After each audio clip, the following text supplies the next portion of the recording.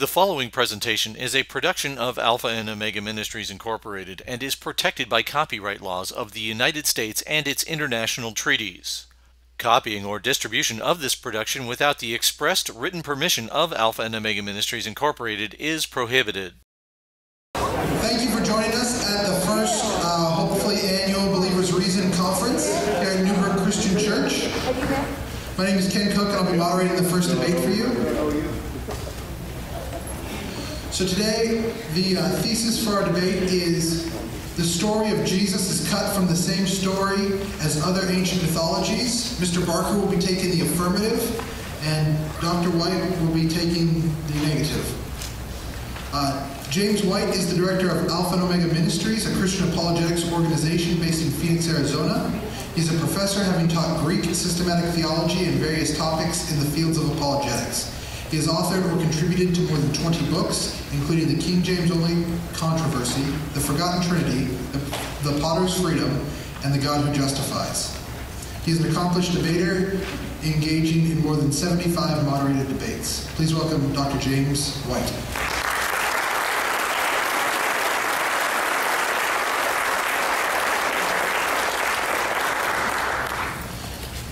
We have also have with us Dan Barker, who is the co-president of the Freedom from Religion Foundation and the author of the recently published book Godless.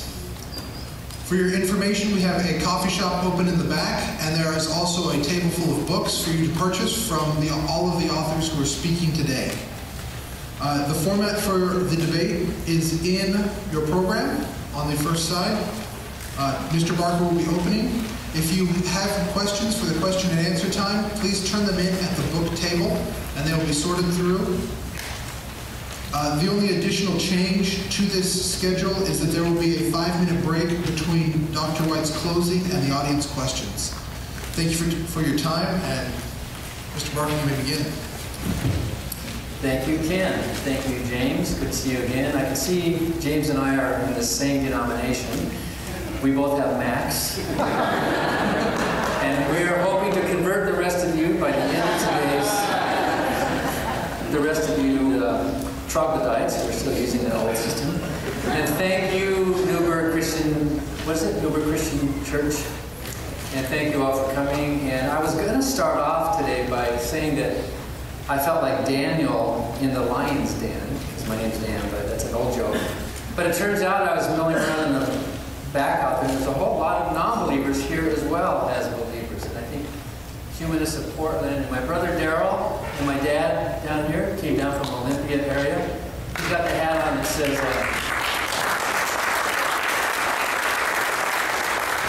what does your hat say? Oh, it says, out of the closet atheist. There you go. Okay. And uh, some others who drove from away. So thank you so much for coming in. And I have to say that Ken and the staff here have been very warm and friendly and generous and welcoming, and it's a real pleasure to be in a group like this. I'm not an expert, you can start. I'm not an expert in ancient mythology. I'm a former preacher who is still preaching, I guess. In this field of ancient mythology is very deep and very wide. It's a fountain flowing deep and wide. But in my reading, I noticed that the experts in the field often disagree. The scholars of paganism, as well as the scholars of Christianity, are sometimes locked in fierce debates. And I think that is healthy. That's how we learn things. There are very few claims about ancient history that have a high level of certainty. Like all scientists, historians have to work with probabilities. We do have documents, we have monuments, but it is all interpretation. And just as with Christian theology, interpretations vary. I made up my own story, my own myth. Once upon a time, there were three little donkeys. One of the donkeys built his house out of paper. One of them built his house out of sticks. The other one built his house out of bricks. Then along came a big bad elephant. And he huffed and he puffed and he blew down the house of paper and he got a match and he burned down the house of sticks. But he couldn't break down the house of bricks. So he came back with a bulldozer and he demolished the house of bricks. Well, I'll spare you the rest of the gruesome story, but what did I base my story on? The Three Little Pigs. How did you know that? Did I mention the Three Little Pigs? Did I copy the story exactly? How did you know it was the Three Little Pigs? Because I'm appealing to your cultural knowledge when I write a story like that. Suppose a historian 2,000 years from now were to discover my story, not knowing about the Three Little Pigs and the possible political symbolism of donkeys and elephants. How would that historian interpret my story? She might doubt that a donkey could build a house, just as some doubt that Balaam's ass could talk, or that there was actually a snake in the garden who could talk. But that's beside the point. She would want to know the purpose and the message of my story. And suppose she to discover the three little pig story, would she say, aha, Dan Barker is a thief, he plagiarized. Suppose she discovered, oh, donkeys and elephants. Suppose she realized, oh, back then, oh, okay, I can see what Dan was trying to say. She would understand that I wasn't plagiarizing, I wasn't stealing. She would understand that I was building on an earlier form in order to create my own work of art, my own story that I think is a, a better story. Maybe you disagree with that. There's a difference between imitation and emulation. A story like Christianity doesn't have to exactly parallel or mirror every little detail of the pre existing pagan stories in order to be seen as a copy or emulation of the earlier myths. In fact, we expect it not to be identical. Otherwise, it wouldn't be a new religion. The new religion is trying to outdo the previous stories. So they have differences. All religions are unique, Christianity, Judaism, Mormonism is unique, Scientology, Islam, Rastafarianism. The Church of the Flying Spaghetti Monster is certainly a unique religion. Are some of you here today? By But the uniqueness is in the modern details. All of these religions evolved from earlier traditions, and that's especially true of Christianity. Last summer, Annie Lorraine and I were in New York City, and we went to see West Side Story. We love that musical. The fact that West Side Story is a modern adaptation of Romeo and Juliet didn't detract from our enjoyment. Instead of the Montagues and the Capulets, we have the uh, Sharks and the Jets. Instead of Romeo and Juliet, we have Tony and Maria. But it's the same story. The authors admitted it was the same story. They brought it up to date. The fact that many details are different, for example, Maria doesn't die in the end, does, doesn't mean it's not cut from the same tale. In fact, it's the differences that prove the point. It's the same with Christianity. In the first century, there was already a huge template, many model stories upon which previous myths had been built. There were dozens of ancient god men who came down from heaven. They were born of a god and a human female, often a virgin. They performed heroic, miraculous deeds. They were persecuted. They died tragic deaths. They rose from the dead. Many of them ascended into heaven. But in the gospel story, the gospel version of that old tale, the God man is not called Osiris or Dionysus or Attis or Adonis or Augustus or Romulus. His name is changed to Jesus. Different name, same story.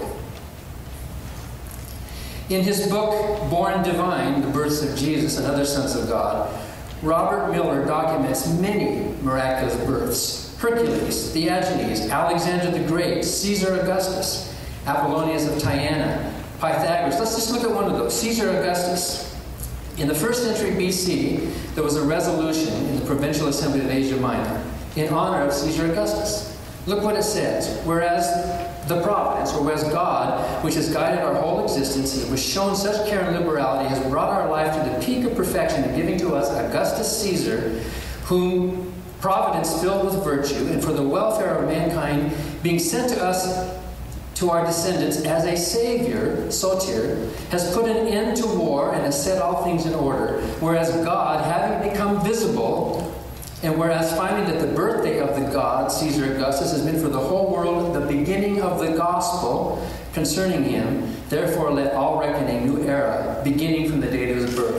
Here, here he is. He's a Savior. He brought peace on earth. He was a God who was made visible. And that phrase, beginning of the gospel, if you read the book of Mark, the first gospel, how does that gospel start? The beginning of the gospel of Jesus.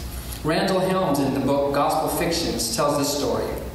In the first century of the Common Era, there appeared at the eastern end of the Mediterranean a remarkable religious leader who taught the worship of one true God. He declared that religion meant not the sacrifice of beasts but the practice of charity and piety and the shunning of hatred and enmity. He was said to have worked miracles of goodness, casting out demons, healing the sick, raising the dead. His exemplary life led some of his followers to claim he was the Son of God. He called himself the Son of Man. Accused of sedition against Rome, he was arrested. After his death, his disciples claimed he had risen from the dead. He appeared to them alive, and then he ascended up into heaven. Who was this teacher and wonder worker? His name was Apollonius of Tyana. Tyana was in Nazareth. And you can read his story. He died about the year 98 AD, the next generation after Christianity. You can read about it in uh, Philostratus' Life of Apollonius. Here is a clear example of a pre Christian story from which the Jesus story was cut. Romulus, the founder of Rome. Romulus was called the Son of God. He was also called God, King and Father. He was prophesied to be the builder of a great city. He descended from heaven, born of a virgin and the god Mars. He became a God incarnate in order to establish a kingdom on earth. He was murdered by the political elite. Romulus, when he died, darkness covered the earth at his death. The earth shook at his death. His body vanished. He appeared around the break of dawn to a disciple on a road to the city, revealing that he was resurrected. He would ascend back to heaven to rule from on high. Romulus' death and resurrection were celebrated in annual public ceremonies since before Christian times, and these documents predate the Christian documents. In her book, Miracles in Greco Roman Antiquity, Wendy Cotter documents many pre Christian gods and heroes who heal Hercules, Asclepius, Isis, Pythagoras, Empedocles, Pyrrhus, you can read the list. She documents exorcisms and exorcists, gods and heroes who control nature Aphrodite, Poseidon, the, the sons of Zeus, and Orpheus, and so on. She even gives three examples of Dionysus changing water into wine. The Gospels were not created ex nihilo. Christianity was not delivered by the stork. It had, it had a parentage. Its most immediate parent was Judaism. But neither was Judaism delivered by the stork. It too had gone through a long history of evolution before the Christians came on the scene. In his book, The River of God, Greg Riley describes how the early Israelites were not monotheistic. They did not have a body soul dualism. They got that from the Greeks. Nor did they have a Satan. That came from Zoroastrians. As evidence, Riley shows us the well known contradiction in the Bible between 2 Samuel 24:1 and 1 Chronicles 21:1, both telling the same story about how David was pressured to take a census. In 2 Samuel, we read, And again, the anger of the Lord was kindled against Israel, and he moved David against them to say, Go number Israel and Judah. But in 1 Chronicles, the same story says Satan stood up against Israel and provoked David to number Israel. So did the Lord make him do it, or did the devil make him do it? The answer to this contradiction is pretty easy. Because it wasn't until the Babylonian captivity, 6th century BC, that the Jews got the idea that God had a near equal adversary who battles for the soul of humanity. While the Jews were in Babylon, Babylon was conquered by the Persians, Cyrus the Great, by the way, whom the Jews called their Messiah because he allowed them to return home. When they got back home, they brought along with them a new religious idea, an evil Satan from the Zoroastrians. So now we see why the Bible contradicts itself. 2 Samuel was written before the Babylonian captivity. 1 Chronicles was written after the Babylonian captivity. The Jewish God could be both good and evil, but after coming into contact with Zoroastrianism, the Jews now had someone else to blame. Christianity inherited its devil from Judaism, which we see was cut from an even earlier pagan story. Dennis MacDonald, in his wonderful book, The Homeric Epics and the Gospel of Mark, makes a strong cumulative case that the author of the first Gospel patterned many of the Jesus stories primarily after Judaism, but then after the Odyssey and the Iliad. I was surprised by this wonderful book, and you would love reading this book. Odysseus and Jesus, both were carpenters. MacDonald writes Odysseus and Jesus both sail the seas with associates who are inferior, who weaken when confronted with suffering. Both heroes return home to find it infested with murderous rivals, rivals that devour the houses of widows. Both oppose supernatural foes. They visit dead heroes. They prophesy their own returns in the third person. A wise woman anoints each protagonist. Both eat last suppers with their comrades before visiting Hades, from which both return alive. In both works, we find God stilling the storms and walking on water, meals for thousands at the shore, monsters in caves. And of course, the Odyssey was many centuries before Christianity. Here's one example the sleeping sailors. I wish I could show you all these examples, but this is amazing. Odysseus' crew boarded and sat down. In Mark 4, we have the story where Jesus boarded the boat and sat down to teach. On a floating island, Odysseus told stories to Aeolus. On a floating boat, Jesus told stories to crowds. After a month, he took his leave, boarded, and sailed with 12 ships. When it was late, Jesus took his leave and sailed with other boats. Odysseus slept, Jesus slept at the stern. The greedy crew opened the sack of winds and created a storm, and there was a great gale of wind in the gospel. The crew groaned. The disciples were helpless and afraid. Odysseus awoke and gave up hope. But Jesus, Mark's improving the story, Jesus awoke and stilled the storm. Odysseus complained of his crew's folly. Jesus rebuked his disciples for lack of faith. Aeolus was the master of the winds. Jesus was the master of the seas. I wish I had time to read this whole parallel. This is incredible. The next chapter, Mark 5, about the demoniac of the Gerasenes, how point by point by point, even with the exact kinds of words and the phrasings and turns of phrase, uh, the Cyclops and the demoniac who both lived in caves are compared. Obviously, Mark was familiar with the, of Homer's work. The sons of thunder, in Mark chapter 3, we see where Jesus picked his disciples. He appointed the twelve, Simon, to whom he gave the name Peter. He liked to give nicknames, I guess. James, the son of Zebedee, and the brother of James, to whom he gave the name Boanerges. You know what that word means, Boanerges? Well, he translates it for us the sons of thunder.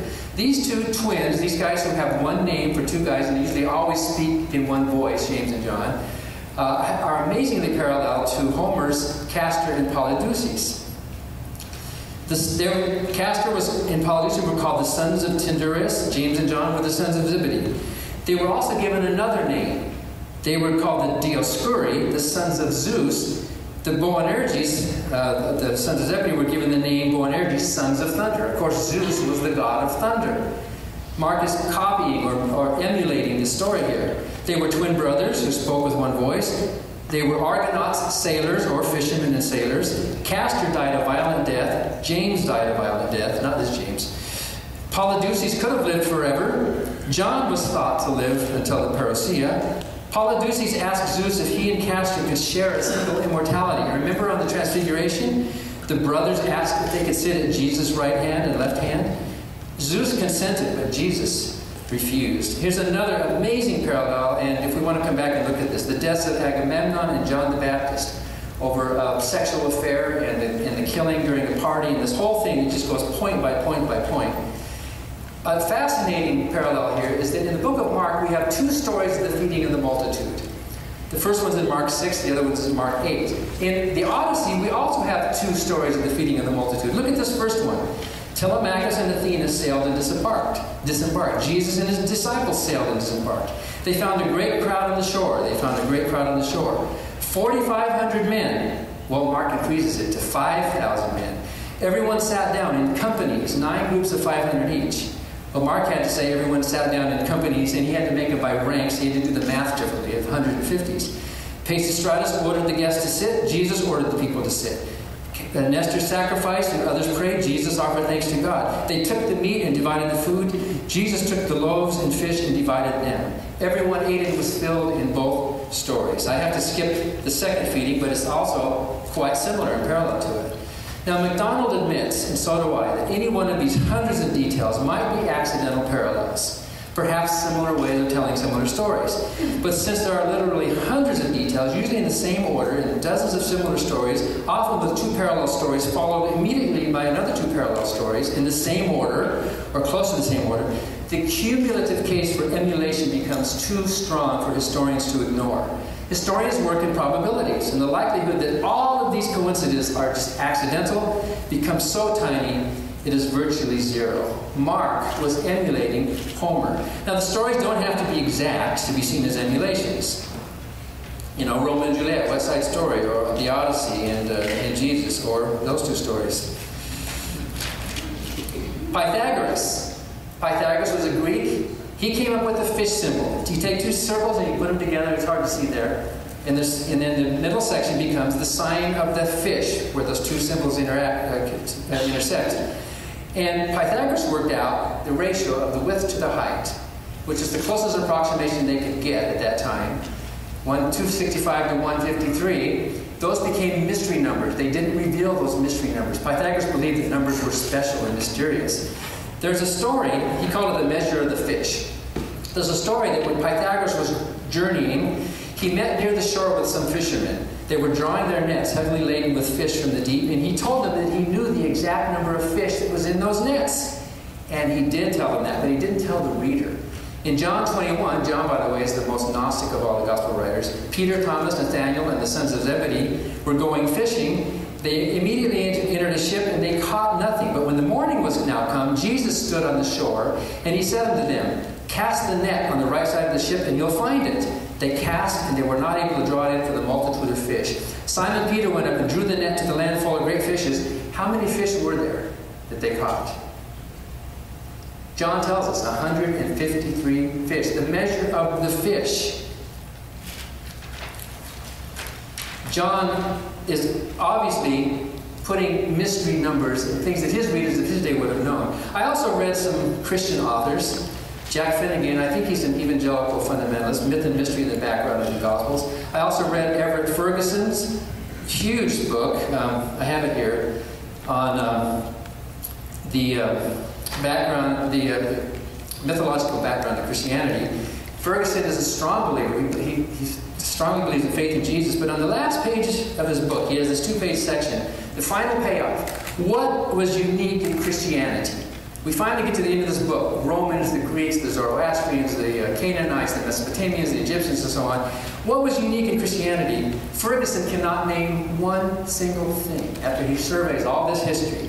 What he does is he says that Christian claims don't rest on its originality, but or on its uniqueness. He says, in order for Christianity to be true, we have to pass from history to faith. Now, it's not just modern scholars, but even early Christians. In the second century, there was a Christian apologist who had been a pagan believer who converted to Christianity, Justin Martyr.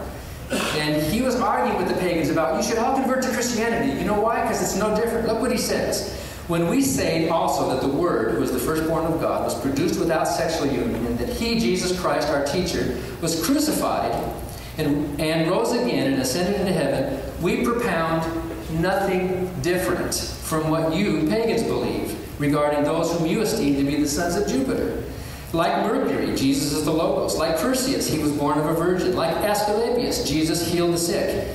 If early Christians claimed that the Jesus story was nothing different from paganism, who am I to disagree?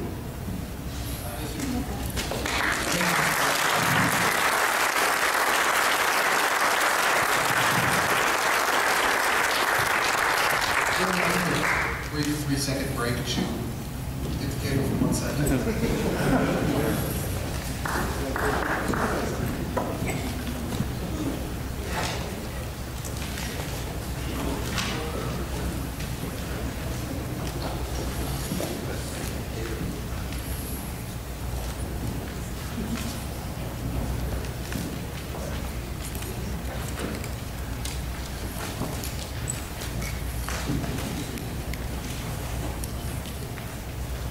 Dr. White, you have 20 minutes to make your opening statement. Well, it is a pleasure to be with you this uh, still morning, I guess. Uh, it's unusual to do debates in the morning, but I uh, commend all of you for being here this morning for an exceptionally important discussion uh, on the subject of Jesus and whether he was cut from the mythological cloth of other religions or, as Christians have believed, Jesus is in fact unique as the Son of God. Now, in my opening, I can only respond to what uh, Dan himself has published before. I found it fascinating that almost none of the sources that Dan just used, he used in his book, Godless. So in this first, I'll be responding to his published work, then the rebuttal will go to what he has presented uh, Can I this morning. point of order here? We're not debating my book, we're debating. I may have changed my mind in the book, I may not, have- I may not have thought it was important, so we are not debating Can I, can I respond to that? Uh, when you're in a scholarly debate and you've published a book, what you've published in the public realm is fair game. It is what you yourself have presented. Now, if you want to stay, if you want to say after I'm done here, I repudiate the book that's for sale in the back, that would be fine. But I'm asking But as a scholar, is he in as- line or not for doing that? I, I don't see anything wrong with quoting your book, Dr. Barker, or Mr. Barker, do you, do you have an objection to him? I object out? because we're not debating my book today. We're debating the Uh, issue. Mr. Barker, I have never engaged anyone in a debate uh, who objected to their own published materials being what was cited. I would love if people would quote my books in my debates because that's what I have presented to people. I cannot believe that there would ever be an objection uh, to my citation of your own book. I, I, I can't imagine. Did you address this subject in your book? Is there not an entire section on this subject? Yes, but you Okay. don't know that I may have changed my mind in the meantime on that, so it's unfair. I may have, I may have changed my mind about Mithra, for example. Is, is, your, is your book for sale in the back? Yes, it is, but we're not How can debating we my have book a, tonight. how can we have a debate? Let's debate the issues. Let's not debate Yes. my book. Let's debate the issues. Uh, I Mr. didn't Mr. debate your Barker, book. Mr. Mr. Barker, I have on the screen quotations from you. I'm going to be dealing with the sources that you used and the arguments that you've used. That is the form of scholarly debate. But we're not, believe that I'm sorry, but we're not debating my book tonight. And I think he's out of line, and, and for the record, I think it's inappropriate. I didn't quote anything you wrote. I've stuck to the actual. That's the point. That's the problem. We, we, we need to deal with what someone has actually put into the public realm. Your book is for sale. Um, I, I cannot believe on any uh, possible uh, academic or scholarly level. I have, I have done more debates than you've done. This is the first time anyone has ever objected to the citation of their own published material, which is still in print. If you had pulled it out and repudiated it, that would be one thing. Are you going to do that? The moderator has already spoken. I think it's reasonable, Dan, to, to use a source that is available on, on the topic, isn't it, in your mind? If there's something out there, whether it's Well- quality or not. This, this is a presentation that I've put together, and if and Dan has, has given his objection uh, to quoting him. Uh, I'm sorry, but I do not see how you can have a meaningful dialogue on this subject if what the person himself has put into the public realm is, is not available. I would just like to say, uh, before I begin my time again and my presentation, uh, that I would be honored if people would quote my books, uh, especially when I address the specific topic of the debate. That shows that you have done your homework in listening to what the other person has to say. And if I put something in print, if I change my mind, I'm going to let people know and I'm going to pull it out of print. Uh, so I think that's just simply the way it needs to go. So can I make my presentation now? Okay, thank you very much. All right, we continue on. Uh, Dan has written uh, in his book Godless, which is available in the back, so you can check the references. I am now convinced that the Jesus story is a combination of myth and legend, mixed with a little bit of real history unrelated to Jesus. And he presented four arguments in his book on this foundation. He said that there is no external historical confirmation for the New Testament stories. Secondly, that the New Testament stories are internally contradictory. Third, and this is the main subject of our debate, that there are natural explanations for the origin of the Jesus legend. And finally, the miracle reports make the story unhistorical. That is, the presence of the supernatural in the gospel stories make it an unhistorical source. Now, I need to address each one of these arguments, but I want to focus primarily on number three. The first argument is that there is no external historical confirmation for the New Testament stories. Now, this requires an amazingly biased view of history itself. The New Testament Gospels, Acts, many of the epistles, such uh, are unlike such works as the Book of Mormon, because the New Testament Gospels, Acts, and epistles are filled with rich historical detail, both geographically and politically. That is, they give us information from the first century, demonstrating that these writings came from that particular time period. At one point, Mr. Barker comments on uh, manuscript Ryland 457, better known as P52, from John chapter 18, dated to AD 100 to AD 125. And he makes reference to this. It says, that There is no way to verify from these few verses whether the rest of John or any of the remainder of the New Testament is reliable. The numbers are to the page references in the book Godless. Now let's think about this for just a moment. Surely, on the level of reliability, as far as historic accuracy or honesty goes, no manuscript is even relevant to such an inquiry. However, what P52 does tell us is that John, as the Gospel of John, in the form in which we have it today, existed in the first decade of the second century, which puts its initial writing well into the first century.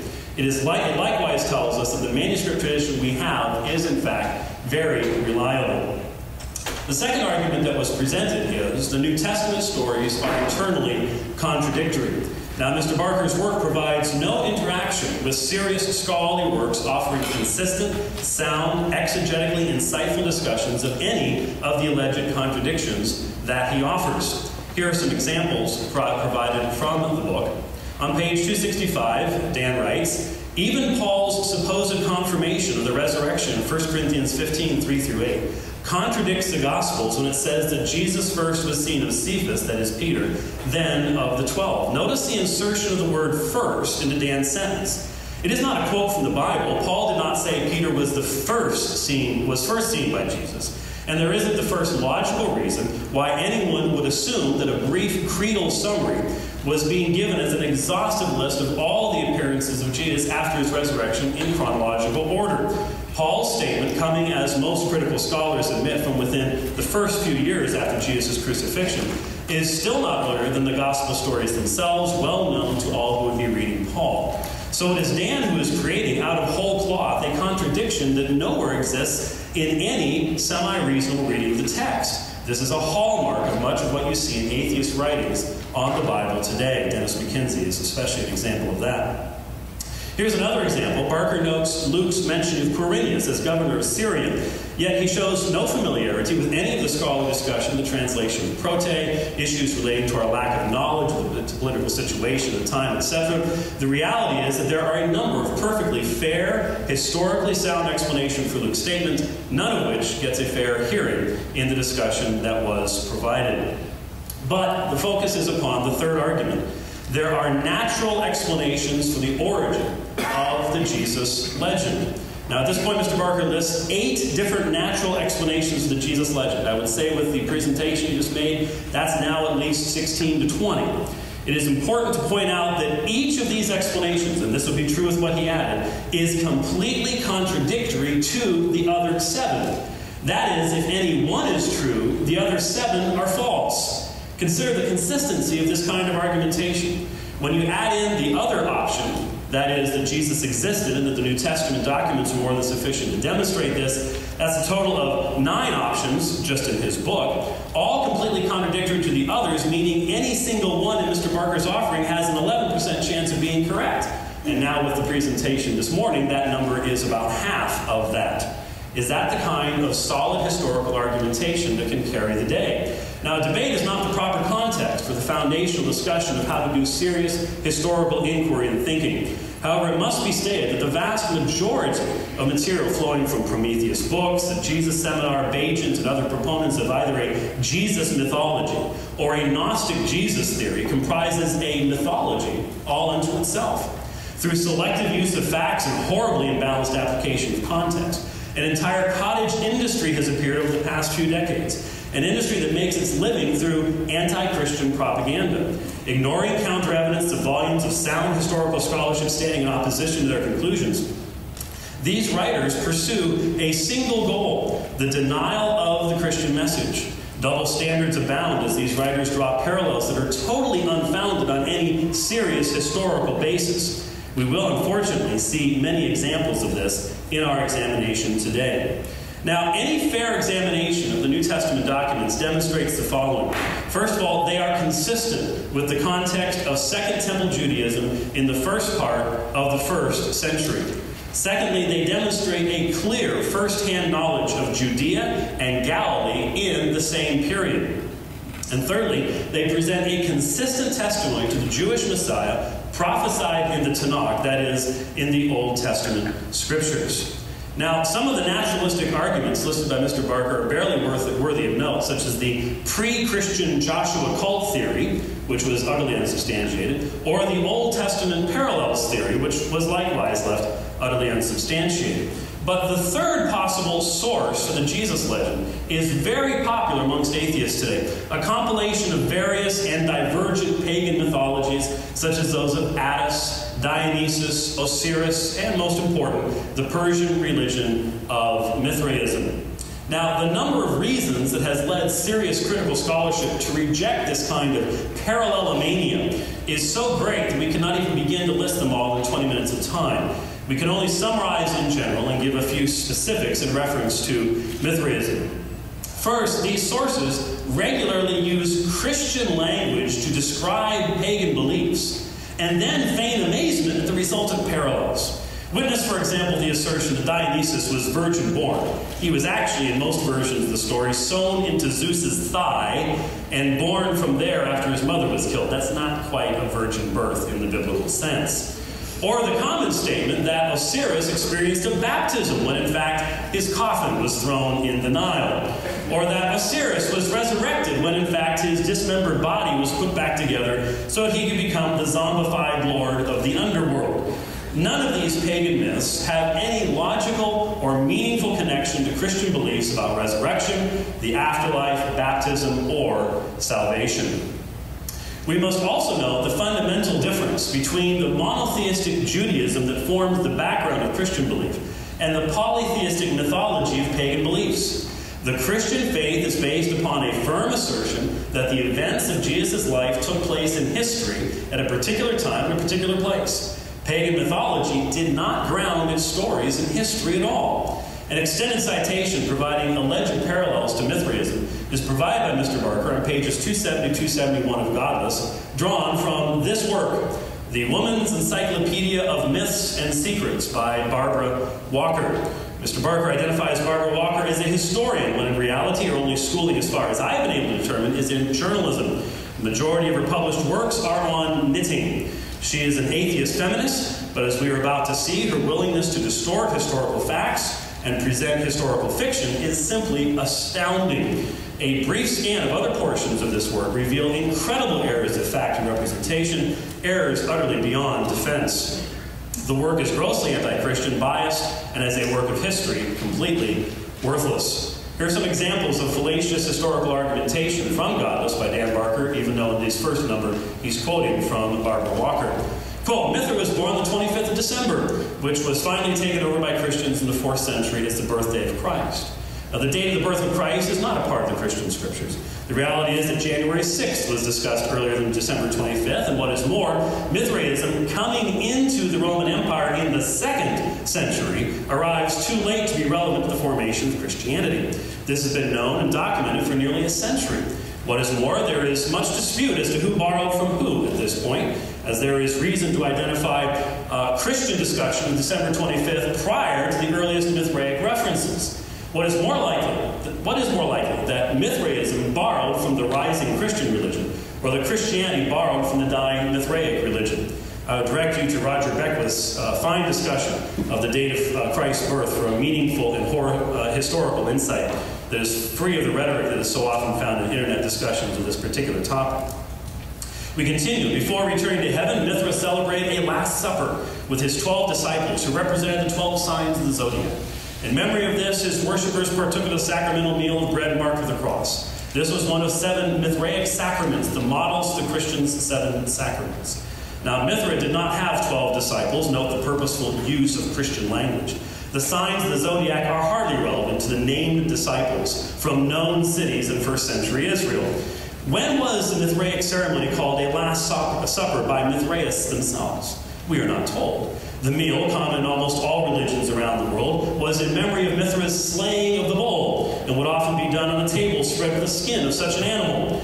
There is nothing regarding sacrifice, atonement, eternal life, or anything else relevant to the Christian faith. Remember, Christians were celebrating the supper a century before Mithraism came into Roman society, and anyone suggesting such a parallel should be ready to prove that Mithraism was not only known in Jerusalem in the early first century, but that it was uh, people were practicing these things and was popular enough to provide a basis for Christians borrowing their concepts. These were not called sacraments as far as anyone uh, can see, nor have I found any foundation for the assertion that the bread was marked by a cross, as irrelevant as that would be, as primitive Christian celebrations did not have such items themselves. Further, the concept of seven sacraments developed in Roman Catholicism centuries and centuries later, making this blatant example of parallelomania particularly useful in identifying bad, very bad argumentation. The text continued to say it, the supper was called Ms, Latin Missa, English Mass. Mithra's image was buried in a rock tomb. He was withdrawn from it and said to live again.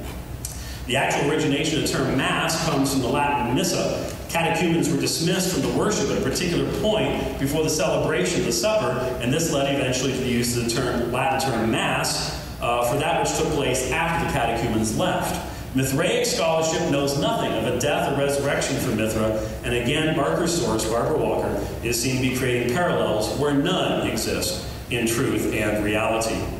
Continuing, like early Christianity, Mithraism was an ascetic anti female religion. Its priesthood consisted of celibate men only, page 271. Now, Mithraism was primarily attractive to those in the military, and as such was ill suited to provide a foundation of the creation of Christianity, even if it had been prevalent in first century Palestine, which, of course, it was not. Further, it is simply absurd on its face to say early Christianity was an anti female religion, since it was Christianity that taught that there is neither male nor female, but all are one in Christ Jesus. Further, the concept of a celibate priesthood, developed long after the New Testament period, once again demonstrating how historically untenable are the assertions that are being reproduced here. Then we're told the Christian notion of salvation was almost wholly a product of this Persian eschatology adopted by Semitic Aramites and some cultists like the Essenes, and by Roman military men who thought the rigid discipline and vivid battle imagery of Mithraism appropriate for warriors. Such a statement expresses an astounding ignorance of the Christian notion of salvation, let alone the makeup of the early Christian movement, which was primarily, primarily made up not of Semitic Aramites and sun cultists, let alone Roman soldiers, but slaves and lower class people in Roman society. And again, at a time when Mithraism had yet to make its entrance into Roman society. To anyone with an even fair familiarity with the historical sources, this kind of argumentation would be humorous if it was not being presented as being serious by Barbara Walker. Then Mr. Barker himself writes The name Mary is common to names given to mothers of other gods. The Syrian Myrrha, the Greek Maia, and the Hindu Maya all derive from the familiar Ma for mother. Now, is this relevant to the name of Mary, wife of Joseph and mother of Jesus? Just a few years ago, Richard Bauckham published a groundbreaking study that has sent shockwaves across the field of New Testament studies titled Jesus and the Eyewitnesses. Apart from his arguing that at least one of the Gospels is, in fact, eyewitness testimony, he likewise included a study of the most common names in Israel derived from archaeological digs in the centuries immediately prior to and after the time of Christ. And guess what the most common female name was? You guessed it, Mary. So, which is more likely, that the Gospels are reflecting the historical reality, or that there is some pagan mythology at play? Instead of this kind of parallelomania, we should listen carefully to sober scholarship on this topic, such as that provided by Gary Lease, who has written, quote, after almost 100 years of unremitting labor, the conclusion appears inescapable that neither Mithraism nor Christianity proved to be an obvious and direct influence upon the other in the development and demise or survival of either religion. Their beliefs and practices are well accounted for by their most obvious origins, and there is no need to explain one in terms of the other.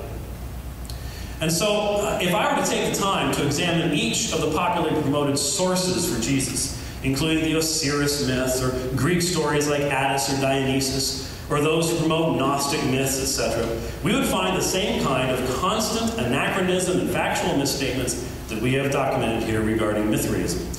Indeed, as the serious historian Tryggve Mettinger has put in his conclusion of his work, The Riddle of Resurrection, Dying and Rising Gods in the Ancient Near East, quote, the death of Jesus is presented in the sources as vicarious suffering, as an act of atonement for sins. But there is no evidence of the death or dying of ri- and rising of gods as vicarious suffering for sins. There is, as far as I'm aware, no prima facie evidence that the death and resurrection of Jesus is a mythological construct, drawing on the myths and rites of the dying and rising gods of the surrounding world. The faith in the death and resurrection of Jesus retains its unique character in the history of religions, end quote. Like the fiction of Dan Brown's Da Vinci Code, those who ignore the fundamental realities of history, the vast chasm of difference between the historically grounded story of Jesus of Nazareth and the ahistorical mythology of Mithra or Osiris or Dionysus or Romulus, can only offer us fantasies rather than the truth. There is only one logical context for the story of Jesus, the very one offered in the Bible, that of the Jewish people of the first century who, like Simeon and Anna in the temple, look for the promised Messiah while rejecting and detesting the paganism of the world around them. Finally, argument number four the miracle reports make the story unhistorical. This is truly the foundation of Dan's position.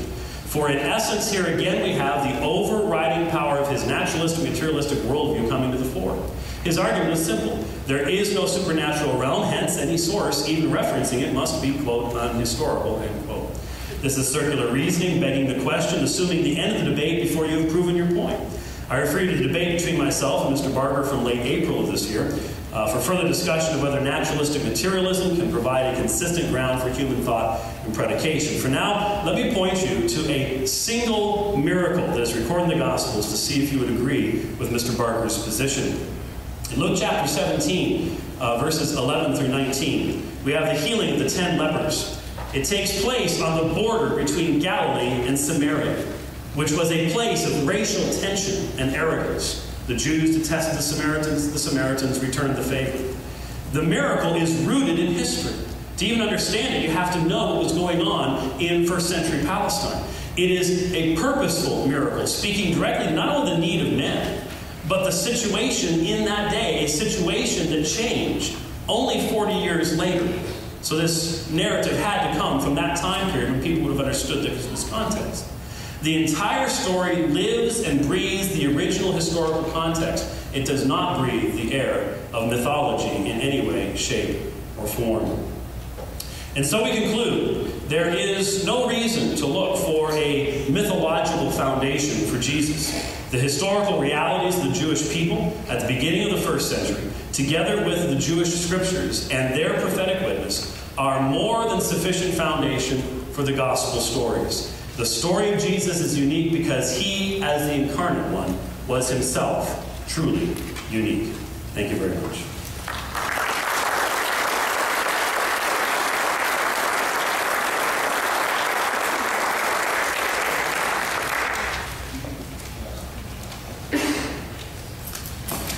Thank you, Dr. White. Uh, Mr. Barker, you now have 10 minutes for cross-examination take, we take this first cross X really for informational right. purposes. Right. I wasn't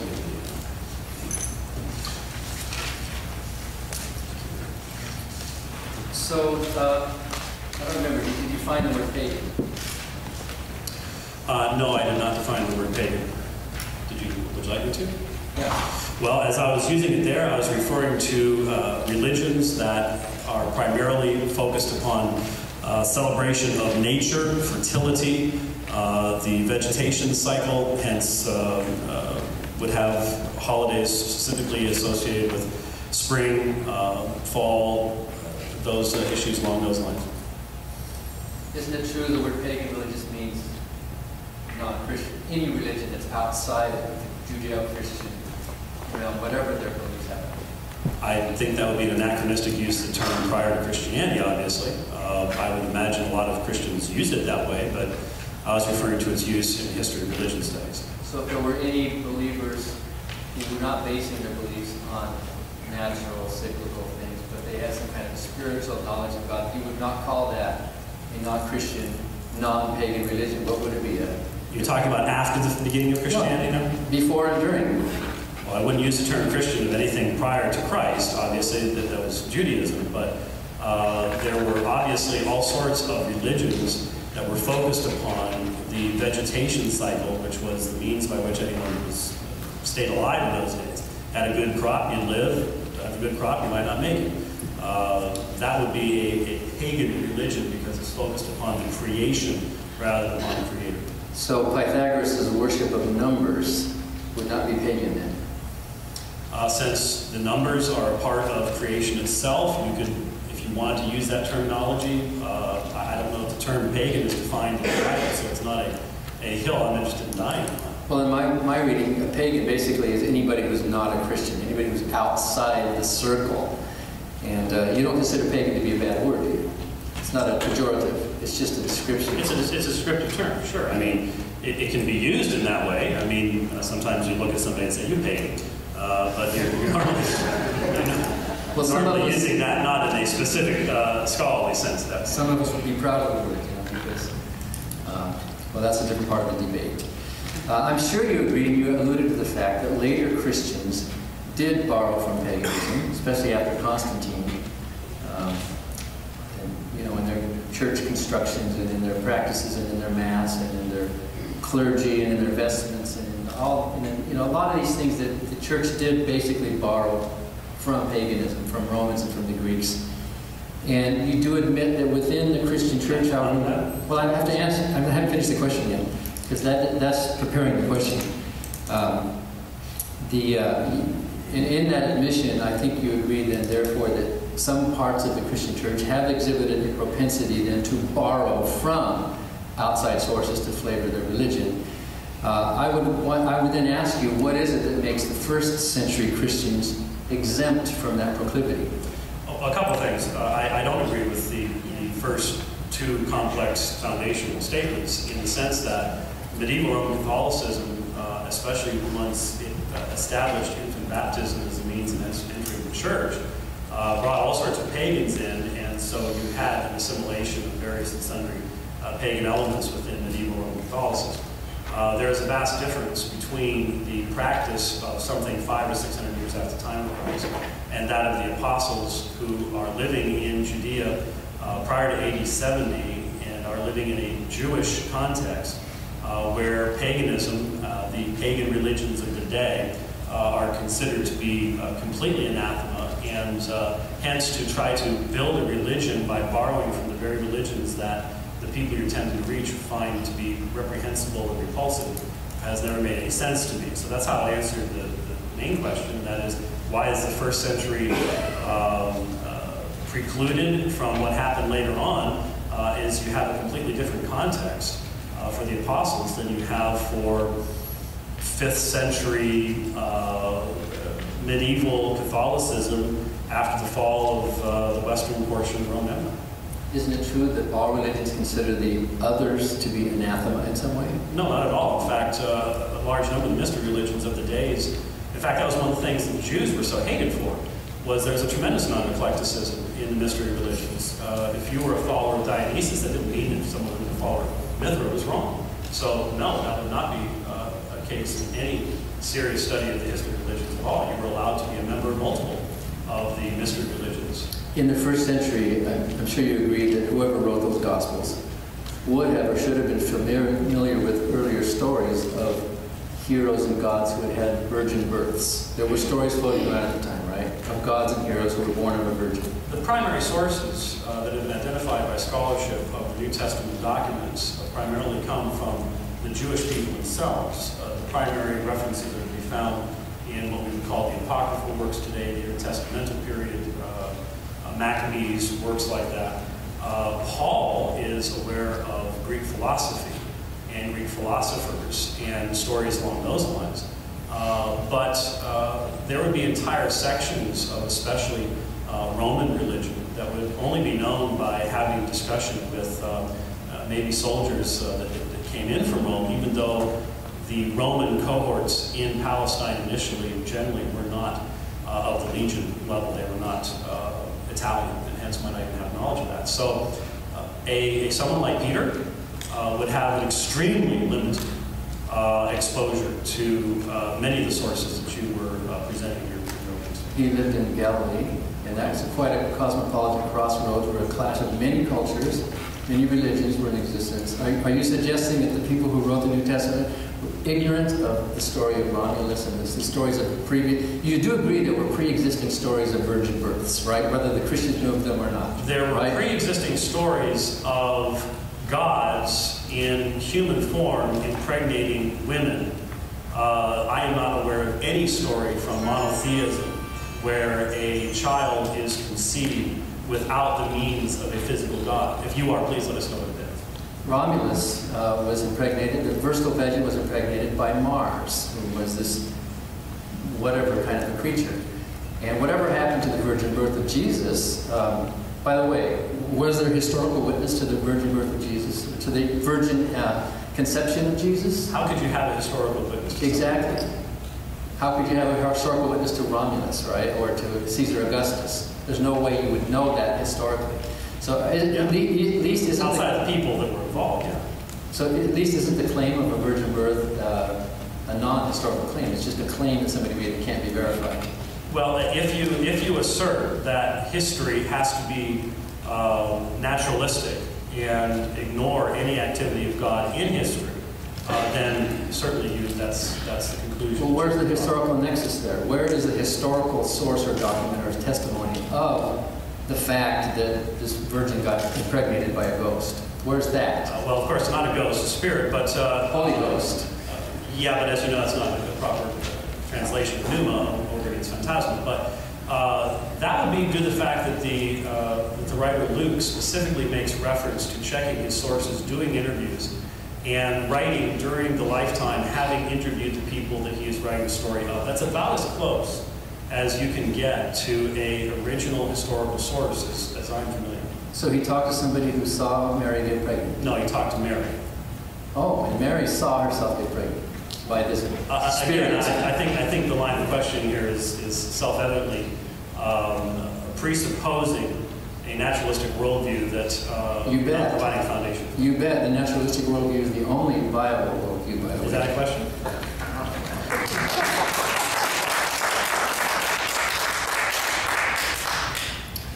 Do you believe that the uh, Egyptian sorcerers actually turned sticks into snakes? Yes, They did. yes. By what power? Uh, There is more than one supernatural power in the world. So the devil. They actually performed. So they That's, that's, one of the, that's one of the evidences that your Zoroastrian uh, assertions are, are completely out of line with the Old Testament. I only made one Zoroastrian assertion. Well, one's enough. Cyrus the Great. I um, should be cross-examining. Cross-examining. Do we Yes. still have time here? 46 seconds. Um, how long has the human race existed? I do not have any idea. That's not a part of the divine revelation. Unless you're with Anthony. He knows exactly, but I, Well, in your best guess, how old is the human race? How long have we been here?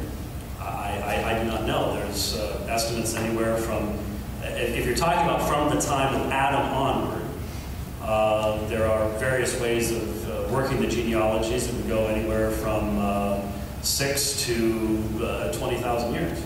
Six to 20,000 years. The human species? You're on record saying No, no, I didn't say, uh, the human race, the human I, species. thought, I said from Adam. However you determine who Adam was, there are people who would say that, that uh, Adam is the first creature that is created. There are other people that would say that, uh, that Adam came at a point just, just saying from Adam onward, because that's the only biblical revelation we have. Were there humans before Adam? Our time is Our time is odd up. Uh, There'll be a five-minute break to stretch your legs, and then we'll reconvene after that. I'd like would like to offer just a brief reminder, if you have questions for the speakers for our question and answer period, please turn them in at the book table uh, at the next break so that they can be sorted through. Thank you very much. And also, uh, each, each party will be receiving a copy of this debate that they will individually sell, I assume, at their, uh, at their discretion. So Dr. White, you now have 10 minutes for cross-examination. Thank you very much, Kevin. Uh, Mr. Barker, you presented a number of slides uh, wherein you presented uh, alleged parallels. Did I not? All right, now we'll try it that way. Uh, You presented a number of slides where you presented alleged parallels between the Gospel of Mark and Homer. Um, Is it your position that the writer of Mark knew of the epics of Homer and that he constructed his Gospel in such a way as to parallel those epics? Um, two answers. Why not? It says it's on. One, two, one, two. I'll just pick up about nine. Yes. Um, I'm still Yes. not, I'm still not hearing you. one, two, three, four, five. Anybody? Is it on mute? Did you put it on mute? So it says again, one, two, three, four, one, two, three, one, two, three, Do you see digits? that what- I tell you what, let's pray about it. See, nothing fails like prayer. There we go. Okay, that worked. I prayed to Mother Goose, by the way. Uh, well, there's two parts to that answer. Yes, the author of the first gospel, the Gospel of Mark, was familiar with Homer and the epics and the Homeric hymns. Uh, every educated writer of Greek in those days was familiar. School children were familiar. Homer, the Odyssey, the Iliad were used pretty much like tutorials to learn how to write. The Romans copied and emulated uh, Homer. The Greeks copied and emulated Homer. Homer was sort of the Shakespeare of the day. And Mark, as I said earlier, patterned most of his gospel after the Jewish scriptures, obviously.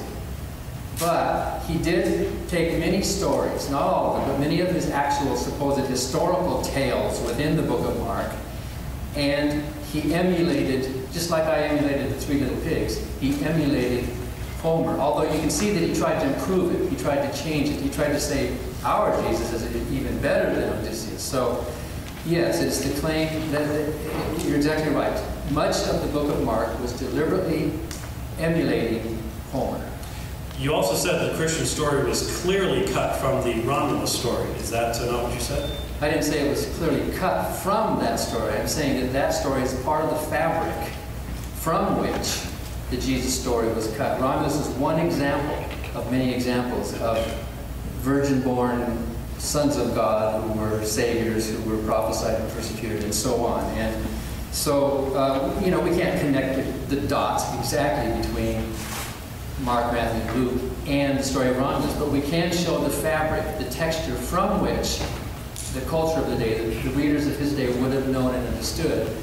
Anybody who was anybody in those days, if you're going to create a new religion, you better have elements in it that have virgin births and, one or two childhood stories of how magnificent he was, and miracles and, and demons, and you got to do stuff like that, stilling the waves, and you, you got to show that your God is really a real God, and that's how you do it. So in first century Palestine, amongst the Jews, um, the Jews had uh, access to all of these myths, and Mark was uh, purposely attempting to start a new religion amongst the Jews by referring to those religions that the Jews detested.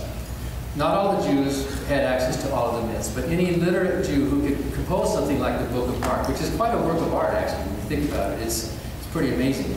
Those types of Jews and Greek writers would have been familiar with Homer. And no, he was he had already believed. In fact, I, I think it's possible that Mark already believed in Jesus and didn't just manufacture it. But what he was doing was, in order to tell the story, he brought these earlier legends in. He brought these earlier epics in to say, look at our, our you know, Jesus, he probably believed Jesus was a real person.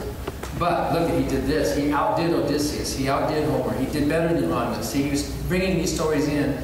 He's, he's writing historical fiction, creative work of art type of fiction to tell his story, to, to convince the, the readers of his day that our God is, is, is part of the crowd too. You know, you can't, our God is just as good as any of the others. So he's getting monotheists who have been willing to die in their opposition to these religions to adopt a new religion by drawing from the religions that they detest.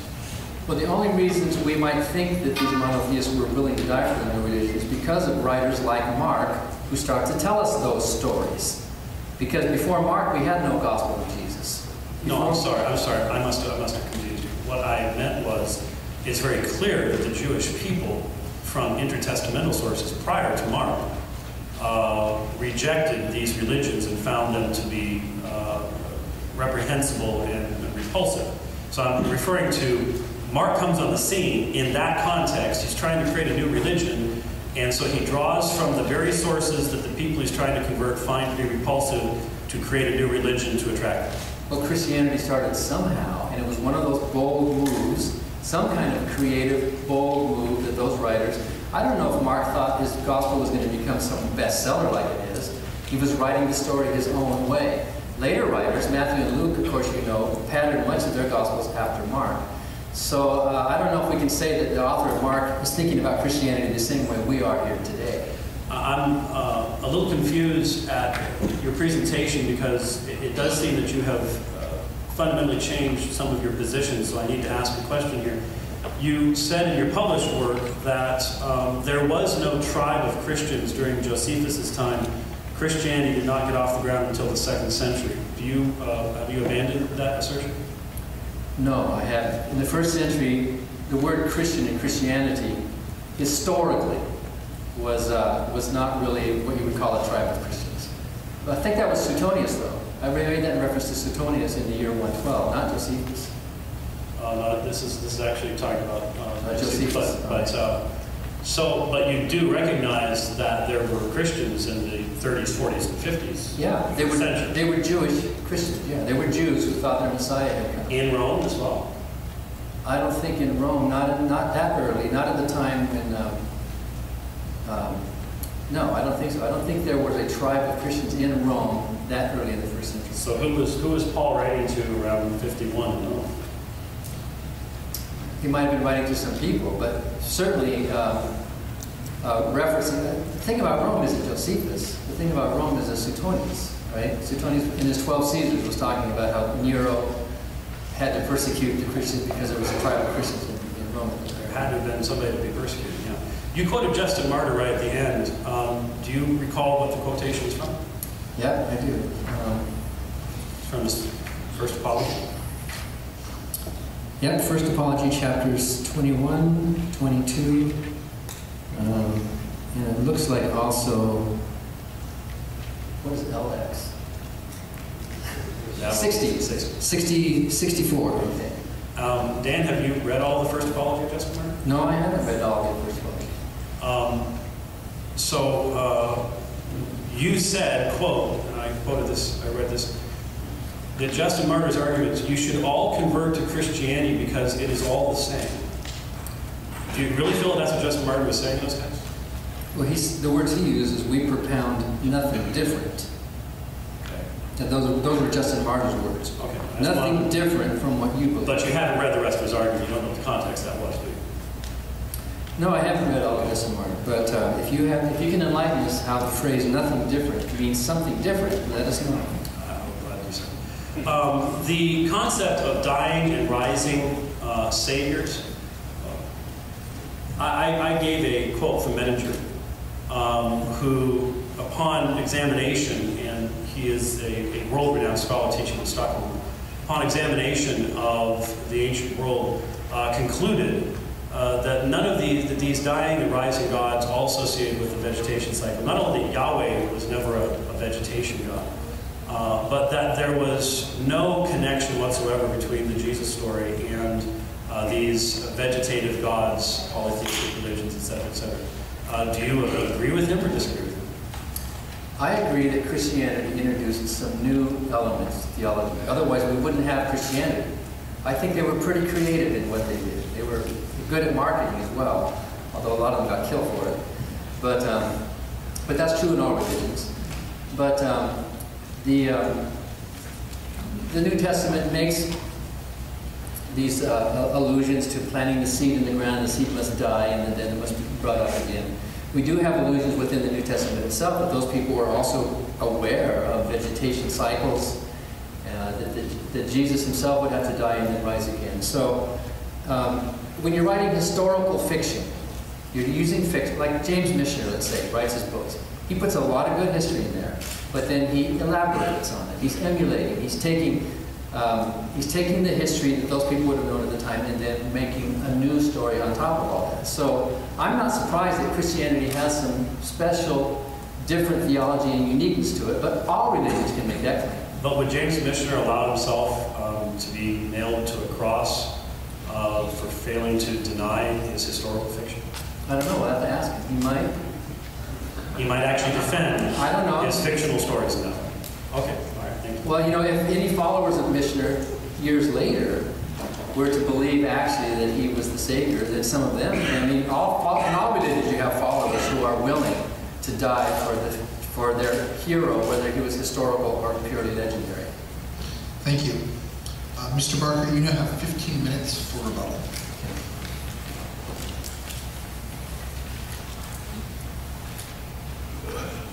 Dan, do you want to turn side to? No. No, just, just go like this. Said to. The first atheist martyr. Um,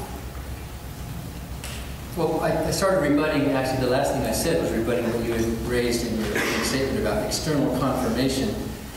And um, when we are, when someone is writing historical fiction, like the New Testament was, it was, his, it was fiction within a historical context. You wanted the readers to know, oh yes, there was a Jerusalem, yes, there was a Rome, yes, there was a Herod, yes, just like James Michener would say, yes, there was a Stalin, yes, there was a Hitler, yes, there was a Hawaii. But the stories within that historical framework, those stories are made up stories.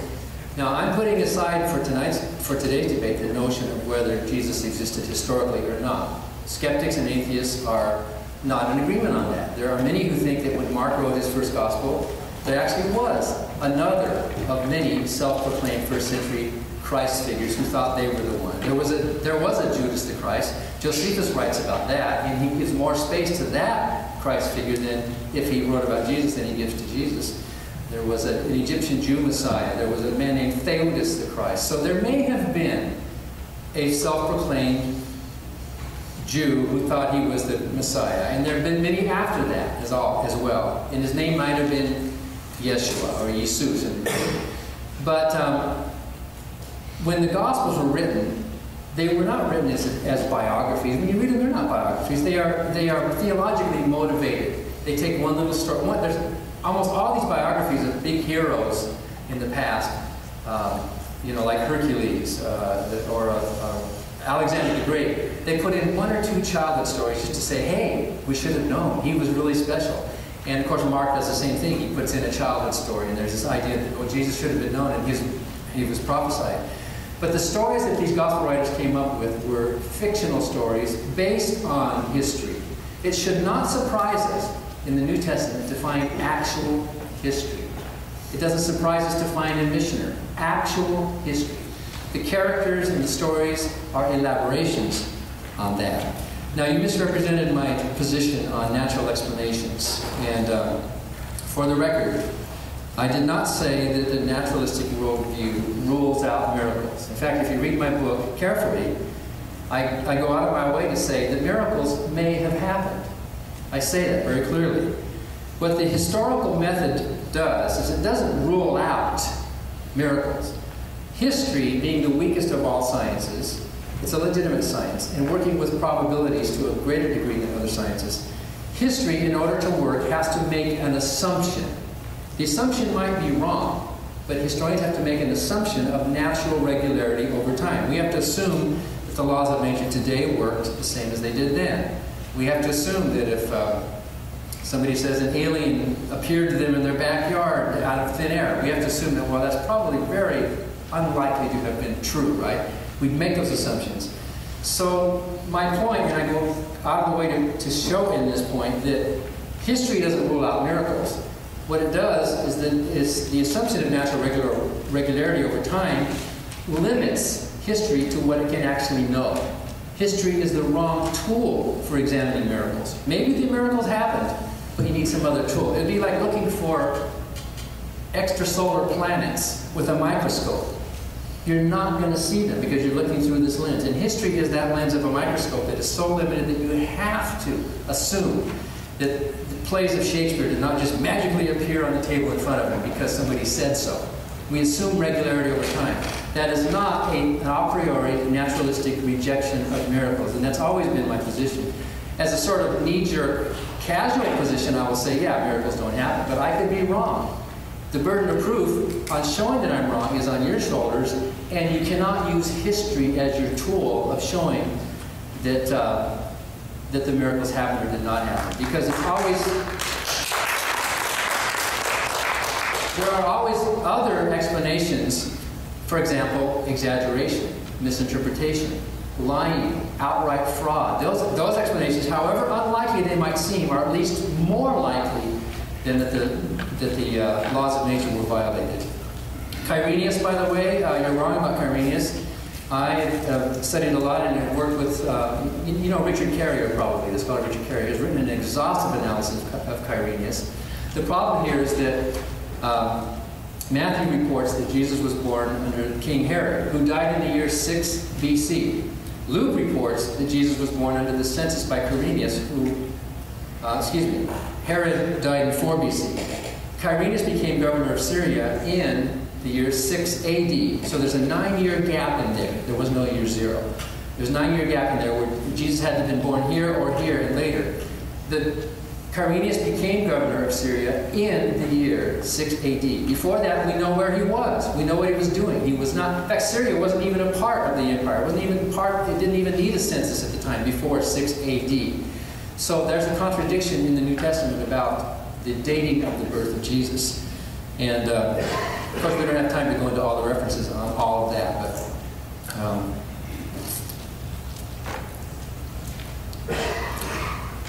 I will agree with you that since my recent studying in this, my amateur studying in this field, that I am now going to take Barbara Walker to a lower level of confidence than I used to before. I agree with that.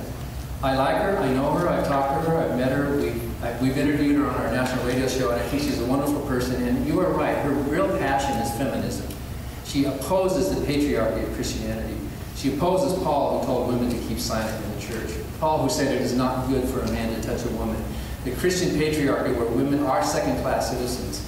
Uh, in fact, many denominations can't even be ordained. She opposes all of those things. But uh, I, am questioning the breadth of her scholarship, which is the main reason why I went to stronger evidences tonight than Barbara Walker. I don't want to belittle her because I know she's working with her own sources, but um, and that's why I thought it was quite, I thought it was a bit out of line for tonight's debate, for you to introduce and try to rebut something that I did not raise during the debate itself. Uh, Mithraism, um, actually, we don't know much at all about Zoroastrian Mithraism. It's a mistake to say that Mithraism came from Zoroastrianism because it may not have at all. There is a Mithra named in Zoroastrian religion as a god, this uh, sun god, I think. But that's all we know about it. It was the Romans, as James correctly pointed out, it's the Romans who took that, especially Roman sailors and soldiers, who took that and made a new religion out of an existing ancient practice. And if all we know about Mithraism comes through the lens of the Romans. By the way, that's true of Christianity.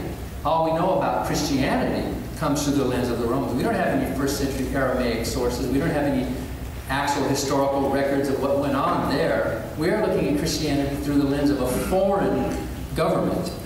But we do know that within the Roman world, there are inscriptions of the slaying of the bull showing uh, the 12 signs of the zodiac and showing 12 events in the life of Mithra as the Romans viewed it, uh, which is probably not what the Zoroastrians thought.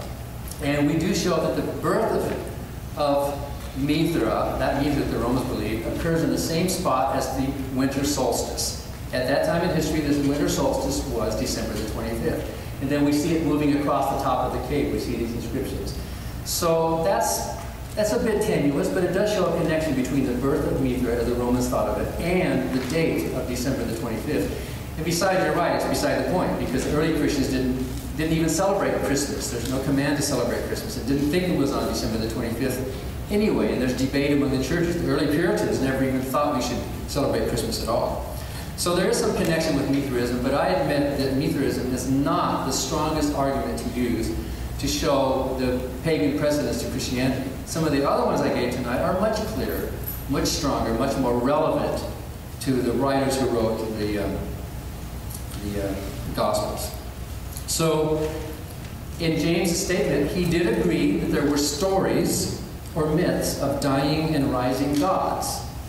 Uh, I'm sure he doesn't believe they actually happened. I don't think James believes that Caesar Augustus was born of a virgin in, in the god Mars. I don't. Do any of you?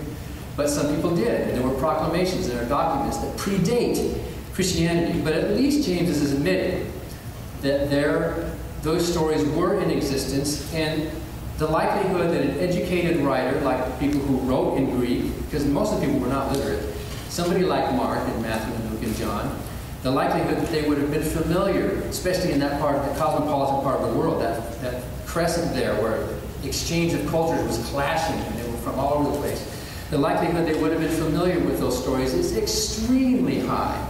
It'd be extremely blinkered to think that these Christians just suddenly sat down and were just writing in a vacuum, ex nihilo. So, I, um, well, I've, I've gone through rebutting the basic points that I thought I needed rebutting during your opening statement. Wait, one more thing. Yes, Jesus, in many ways, was unique. But so was my um, Three Little Donkeys story. It's unique. No one's ever had a story like that. So is Mormonism unique. Mormonism, when you think about it, think, think about how Mormonism has attracted so many people because of their special message. There's nothing like it. You can show the pagan precedents to Mormonism. You can show Christian precedents to Mormonism.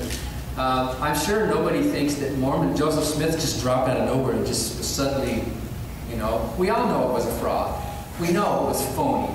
We know he was using the beliefs of the people of his time, dressing it up in the language that they would find acceptable, bringing in Christian precedents and so on, and building this new religion. And if it's true that where there's smoke, there's fire, well, look at the success of Mormonism. Does the worldwide success and, and impressive growth of Mormonism, and they, they, were willing to become martyrs for their faith, does that prove that the angel Moroni visited uh, the hill Cumorah in Palmyra, New York, and gave these gold tablets that nobody's seen? Does that prove it? Of course not. We're all healthy in our skepticism about that story, unless there's a Mormon here tonight. Is there today? I know there's some ex-Mormons here, so that's there's one in the front row there. I just found out from Steve Benson, by the way, that uh, there's actually an Arabic island called Comora, and you know what the capital of that island is? Moroni. and Joseph Smith would have known that at the time. He was pulling the wool over people's eyes, right? Well, you know, Mormonism's unique. Yeah, yeah, great. It's a wonder, you know, and people have changed lives, and they're good people, and they, they have a sense of community, and they're, they're moral, ethical people, right? But Joseph Smith did not talk to the angel Moroni and the hill, hill Cumorah. Jesus did not go up to a mountain and get transfigured and see these resurrected bodies of Elijah and Moses. He did that. Those things did not happen. You can claim they happened, but a healthy skepticism that I think all of us in this room have requires that we back up and say, wait a minute, am I that gullible? These people that I don't know much about from a period of time when I'm not really sure how to interpret what they wrote. I'm just going to take it as historical truth. The historical truth in the New Testament is background truth. The story of Jesus himself, the actual stories of, and in fact, many of the things that he said, which, um, you know, seek and ye shall find, uh, was said by the Delphic oracles. Those are a lot of these things you can find out by the Greeks a lot more. Uh, the widows, the story of the widow's mite, that story had already been said centuries before by the Delphic, by the woman who was supposedly inhaling those gases and getting visions from God upon which entire civilizations based their strategies. They, that was a big deal back then to get these words.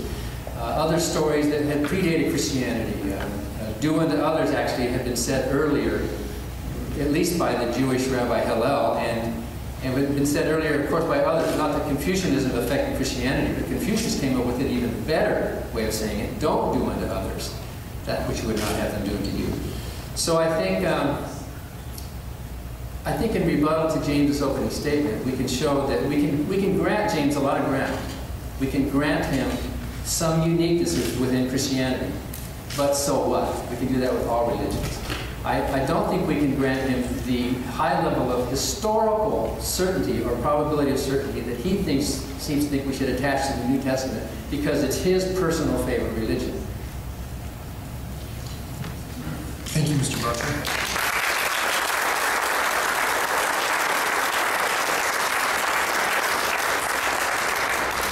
Dr. White, you now have 15 minutes for rebuttal. Well, if you believe that James Michener uh, would die uh, for not denying his own fiction, then most of what I would have to say to you isn't really going to be overly worthwhile. Uh, I think it is very obvious that there is a fundamental difference uh, between the stories that are presented by the gospel writers and those of the myth writers of the ancient world. We have had it asserted that the Gospels are historical fiction. We have not had proof. Assertion is not the same as proof. We had a lot of assertions made during the opening presentation that if we were to take the time to look carefully at them, I hope you did look carefully at them and should review uh, some of the things, especially some of the alleged Homeric parallels provided there. I think if you'll go into the text, you will discover that just as Dan inserted the word first into 1 Corinthians 15 that wasn't there, you'll discover that these individuals are translating the text so as to create the very parallels that they then go, oh, look at this, it's right here in the text itself. And they are ignoring the differences that exist. That's the problem. You have here the idea that monotheistic Jews who had for centuries suffered under various rulers prior to the coming of Christ and were always found to be reprehensible to people around them because of their monotheism, because the fact that they rejected the pagan religions around them. And in fact, what, what were the prophets always uh, going after them about? But their failures in that very place. The Baals, the Ashtaroth, which were fertility gods, the dying and rising god stuff. Here, in the intertestamental period and up to the point at the time of Christ, that has become burned into their national self identity. And what we're being asked to believe is that these writers, and it's amazing to me, I, I debate John Dominic Crossan, and these writers are ignorant men who are unlettered and know almost nothing. Now we're being told, oh, they knew Homer and they knew Roman religious history and they knew this mythology. They had, I mean, these people knew more than almost any person today who doesn't have a degree in religious studies. And they could draw from all of these different things. I still want to know which one were they drawn from? Was it the Romulus story? Was it the Homer story? Was it Dionysus? Was it Mithra? Was it Osiris? Which one of these many contradictory stories, all coming from a completely different worldview, are they actually drawing from? That's what I'd like to know. It's real easy to do the scattergun approach and say, well, they're drawing from this. This is a scholarly debate. There's something that you should be asking each one of us. Prove it. Don't just give me an assertion. Prove it. Prove that these individuals had resources like this. Prove that this is what they're drawing from. Don't use uh, very edited, highly edited translations where you leave stuff out just to create parallels. I can do that with anything. I could find a book by Dennis McKinsey and I could accuse him of, of, of plagiarism by doing the same thing to his text. Why? Because they're talking about similar things. That doesn't mean that there is any dependence between the two at all. Let me tell you what Luke said about his gospel. Uh, he started off in writing Theophilus, he said, Inasmuch as many have undertaken to compile an account of the things accomplished among us, just as they were handed down to us by those who from the beginning were eyewitnesses and servants of the word, it seemed fitting for me as well, having investigated everything carefully from the beginning to write it out for you in consecutive order, most excellent Theophilus, so that you may know the exact truth about the things you have been taught. Now I ask you a simple question. If that's historical fiction, then I don't know what historical fiction is. That's what was so scandalous about Dan Brown's The Da Vinci Code, is it was upside down history. It was just pure, fraudulent, uh, ridiculous fiction. But at the beginning of the book, he said all references to historical documents are true. Well, that was a bold-faced lie. It made him millions and millions of dollars, but it was a bold-faced lie, and people believed it. Is that what Luke's doing? You have to recognize that the writers are not saying this is historical fiction. The writers are not saying, oh, I'm just, I'm going to put some, some nice stories together for you to convince you that my God does more miracles. As I pointed out, the very miracles found in the New Testament are not meant to demonstrate that in the first place. And Mark, of all the writers, is, has the least interest in those types of things. And so the fact of the matter is, the texts that are being attacked here, and it is an attack to say that these are historical fiction when the writers never say anything like that. They say the exact opposite. You're saying that they were lying, that they were creating something. Uh, in fact, an entire genre that I would challenge Dan to demonstrate existed at the time. He said these aren't biographies. Actually, I know many scholars would say this fit perfectly in the realm of historical biographies of the day.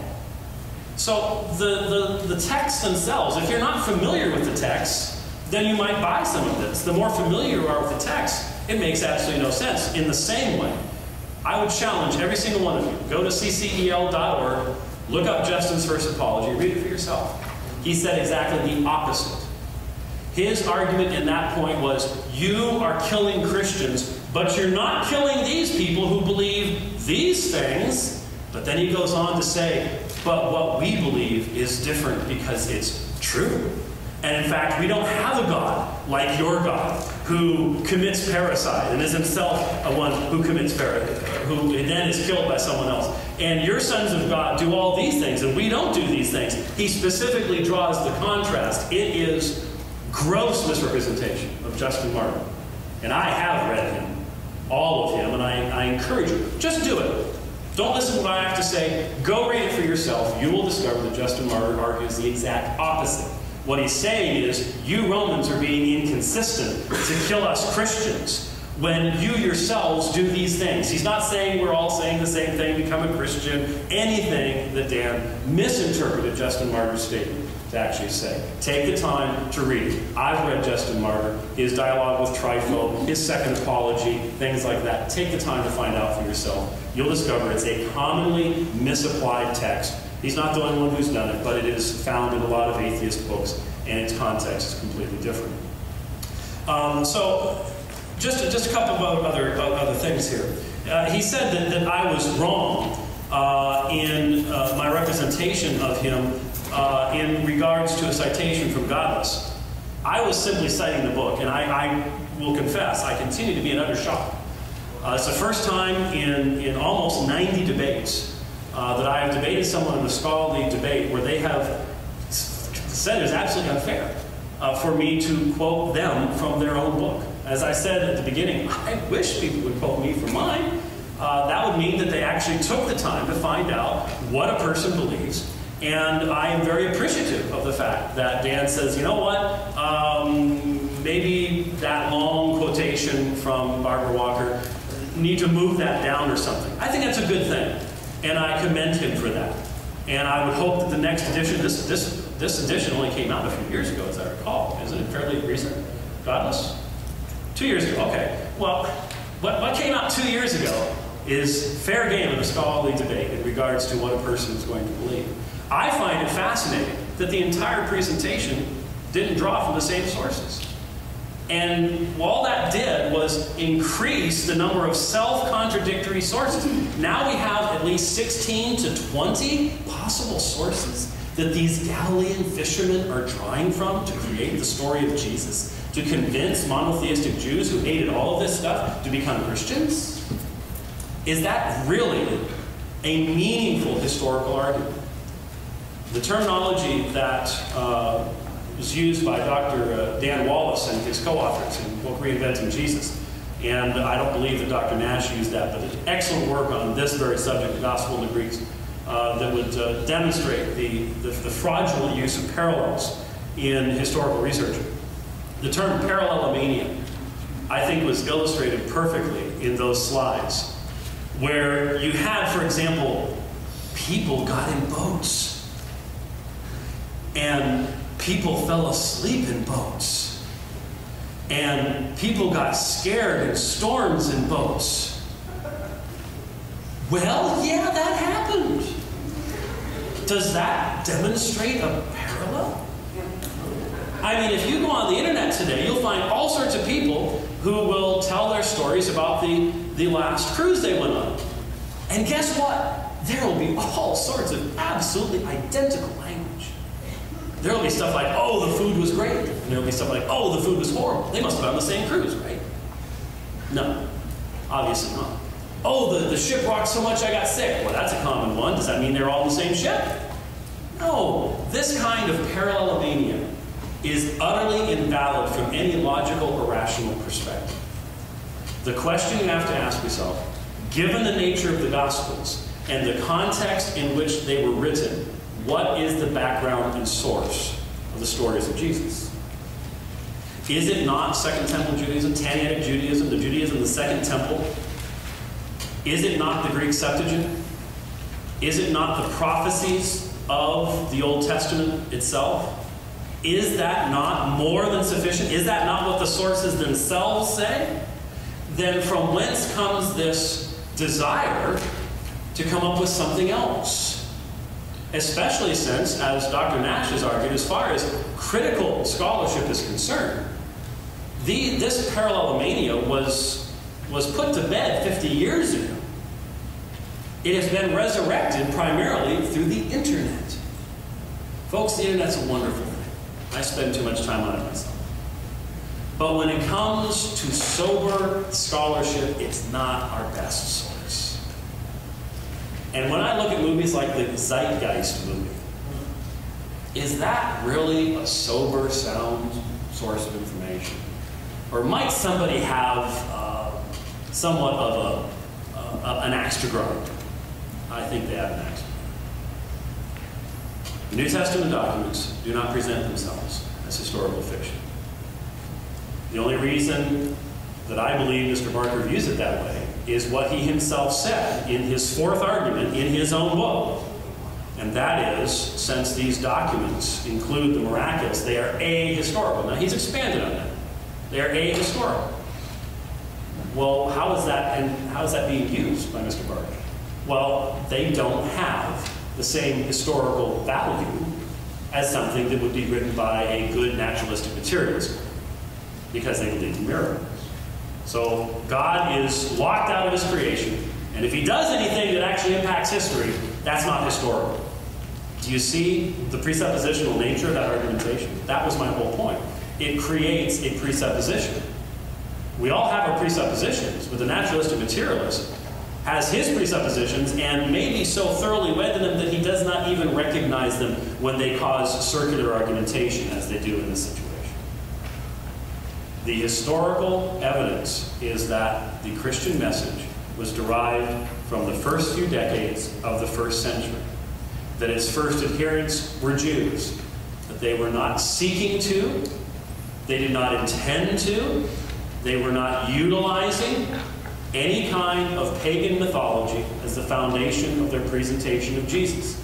It would have gone against everything they believed. It would have gone against everything of the people they were seeking to convert and to bring into the Christian faith.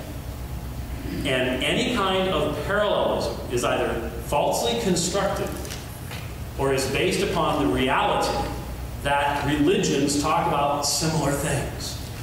It is not a parallel demonstrating dependence or influence when you talk about death and if something happens after death and the purpose of life and how we should live our lives here. Every religion is going to address those things in a greater or lesser way. Some religions didn't care about moral or ethical issues, and so they didn't talk much about stuff like that. Some didn't care much about the afterlife. They might not talk about much of that. But they're going to talk about creation. They're going to talk about where we came from and what our purposes are. But to assume, therefore, that there is any kind of dependence, or that Mark is just sitting back and going, well, I've got Homer, uh, let's see, Mark chapter 5. Let's, let's mix in some Dionysus, a little Osiris, um, and uh, I just got to go back to Homer. I just like Homer so much. That's the perspective that's being presented. And I go, what evidence do you have of this? The parallels don't work because they involve taking this sentence here, and I'm going to use this word, and so I'm going to use this word over here and try to make a connection here. Do you see the thing about Augustus? Soter is a Greek word. It has a meaning in political discourse that is somewhat different than that in theological discourse. But by translating them the same way, you make a create a, you create a, a connection that actually has no weight to it at all. And so you as the audience have to judge what are the motivations of the writers of the Gospels, what sources did they use, First century Judaism, the Old Testament, they cite constantly.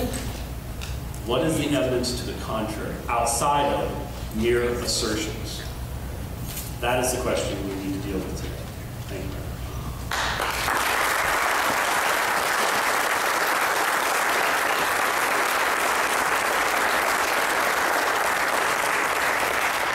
Thank you, Dr. White. Mr. Barker, you now have 10 more minutes for cross-examination. Well, let's finish where we left off. Um, you probably know that modern science is convinced that Homo sapiens sapiens, the human species, is 100,000 to 200,000 years old. You know that, right? Yes. Okay. And yet, the first human being, according to you, was how many years ago? Uh, again, as I said in the previous cross-examination, I don't have a specific date. It's somewhere between uh, six to 20,000 years. And before Adam, were there humans? No, not that I know of. What were, what were they? Uh, again, uh, I didn't know we had changed subject to Because there's a uh, creationism and evolution. I'd be happy to engage on DNA evidences and Um, things is like that a question? What does this have to do with, uh, with the... Was that a question? I'm asking you a question. Uh, I'm asking, I'm asking, I'm this has to asking do a with the question here. James. Yes. To the format here. Right, I can, I can demonstrate the relevance of it. Please let do. me do that. Please do. So, before, but you didn't answer the question. What was, what was here before Adam and Eve? Humans or I, what? I do not believe there was anything before Adam. There wasn't. So you're on record here saying that there was no human species or I believe that God created man, yes. about 20,000 years ago. Uh, So, Okay. I- I've said the same thing uh, so many times, I'm becoming, becoming. I have not given a specific. So the Egyptian civilizations that, uh, and, and evidence of, from archaeology and paleoanthropology of human existence on this planet that long preceded that by at least 100,000 years. Let's, let's be generous and say it's only 100,000 years.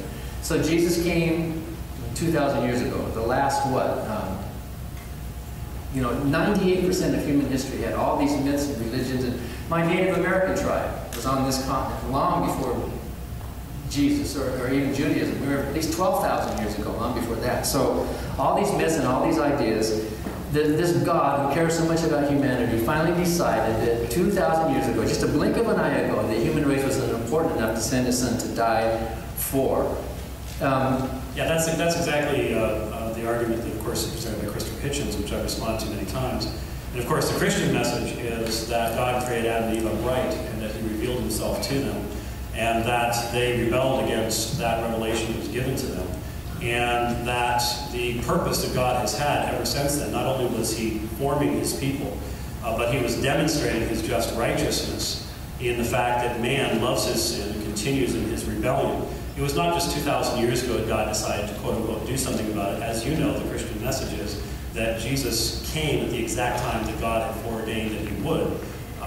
And so it was not just, oh, I think I'll do something about it now. I wasn't caring about this beforehand. The Christian message is that God has cared from the beginning and that all of that prehistory before Christ was a part of what prepared the world for the ministry of Christ and the proclamation of the gospel. so my ancestors who lived on this continent 12,000 years ago, all of them are in hell. They are, they, they were sinners. Any person who rebels against not only the revealed will of God, but the revelation that God places within their own hearts. I don't care which ancestor you had. If you strapped an MP3 tape recorder to them and judged them solely by the judgments they made of others, every single one of them would be found guilty. Not one of them had even heard of Jesus.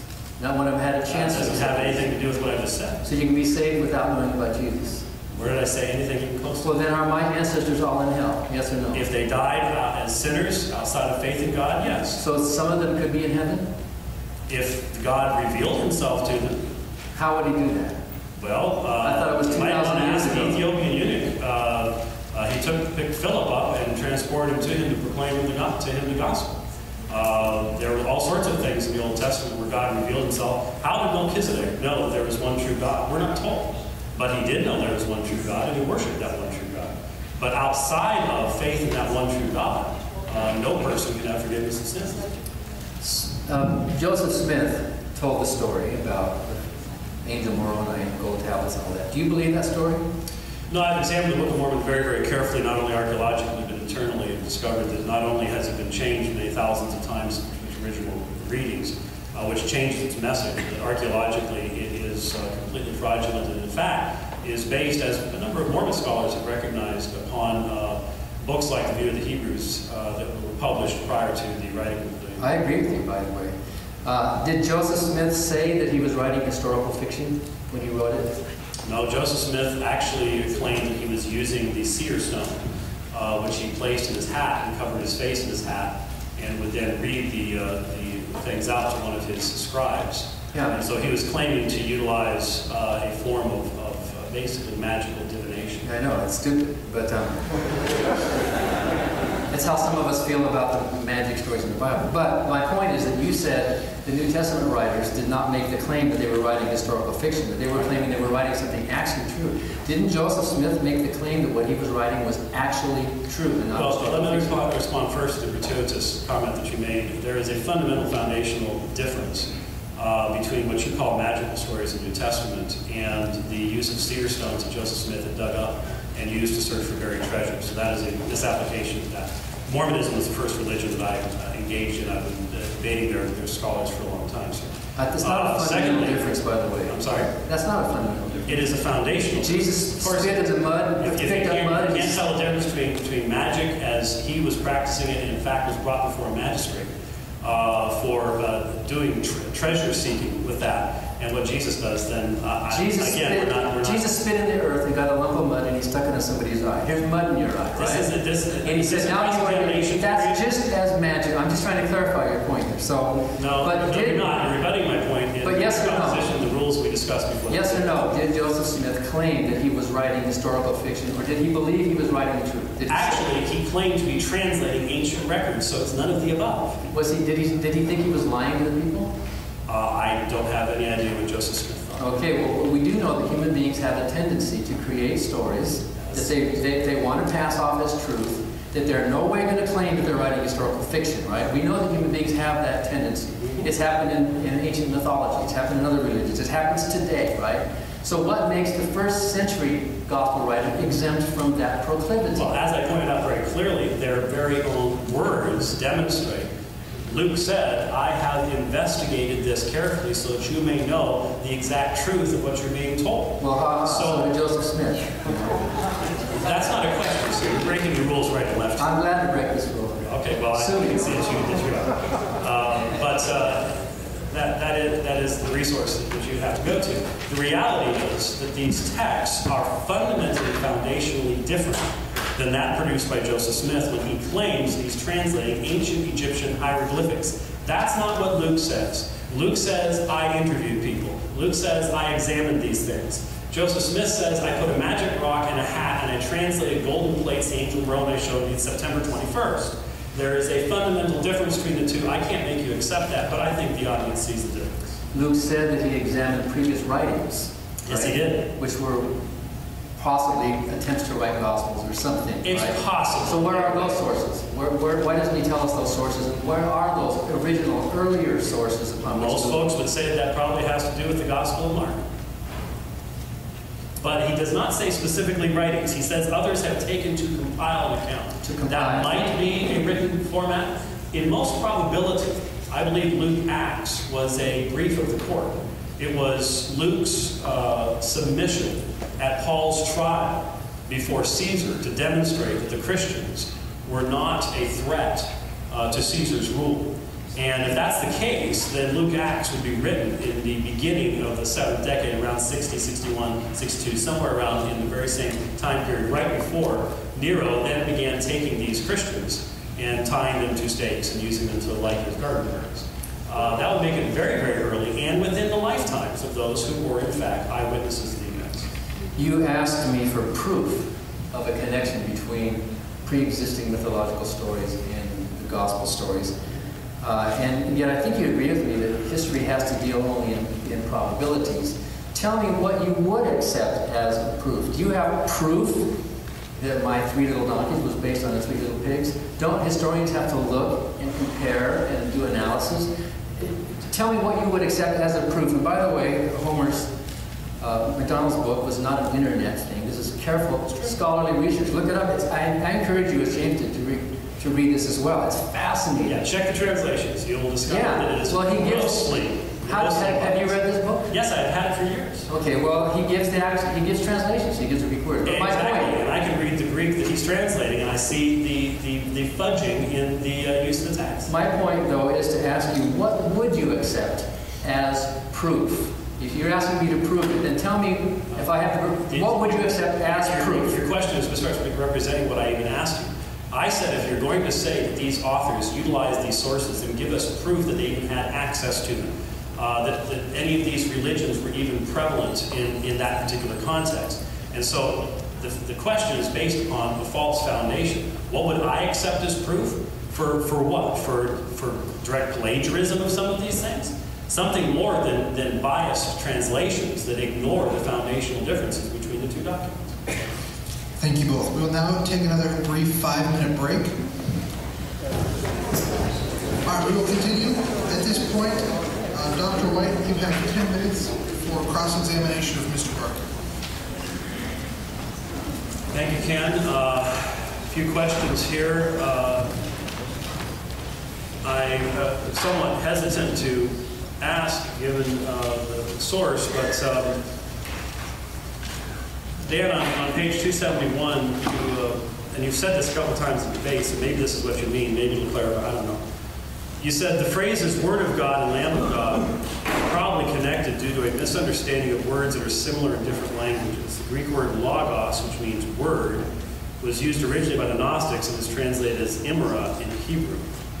The word imera in Aramaic means lamb. It is easy to see how some Jews living at the intersection of so many cultures and languages could be confused and influenced by so many competing religious ideas. That last concept is something you've brought up at least two or three times so far. I'm very confused, however, as to what your point here was. Were you saying that the Jews were dependent upon the Gnostics for the concept of, of the Logos, and that they didn't know the difference between word and lamb in, in their own language? Well, what was your point there? Um, who was the scholar I quoted? I don't remember right You didn't quote anyone. You had just finished your citation of uh, uh, Barbara Walker, and there is no citation whatsoever. No. Well, the New Testament was written in Greek, which was not the language that people were speaking. So the Greek logos would be the word, the word word, basically. And regardless of the fact that that word logos had a Gnostic history to it, uh, you know, the, uh, you know, Philo of Alexandria and all those people and all those Gnostics were using it. The point was very simple. Uh, when you have a mixture of people and cultures in an area, and that part of the world really was a mixture. They were not isolated. Jer- Jerusalem was kind of off to the side, but up in Galilee especially, different languages, different people, Semitic languages that are similar to each other. The word imera in Hebrew, uh, which means word, which is one of the words for word, and then this other word for sheep or lamb, which is very similar. You can see how there would be a confusion. Oh, what did you say he was? He was the Lamb of God or the, or the Word of God. So you can see a connection there. I don't think that's a, you know, you can't prove anything with history, but you can give examples that show a probability to some level uh, that, or, or at least the opportunity for confusion among words that look and sound the same. Except the word of God in the Old Testament is davar, so that they misunderstand davar versus imera. And, in fact, it's a different word for sheep in Hebrew. So you're, you're combining two different languages and not using the standard term, and that that would confuse them, so they didn't know the difference between lamb and word.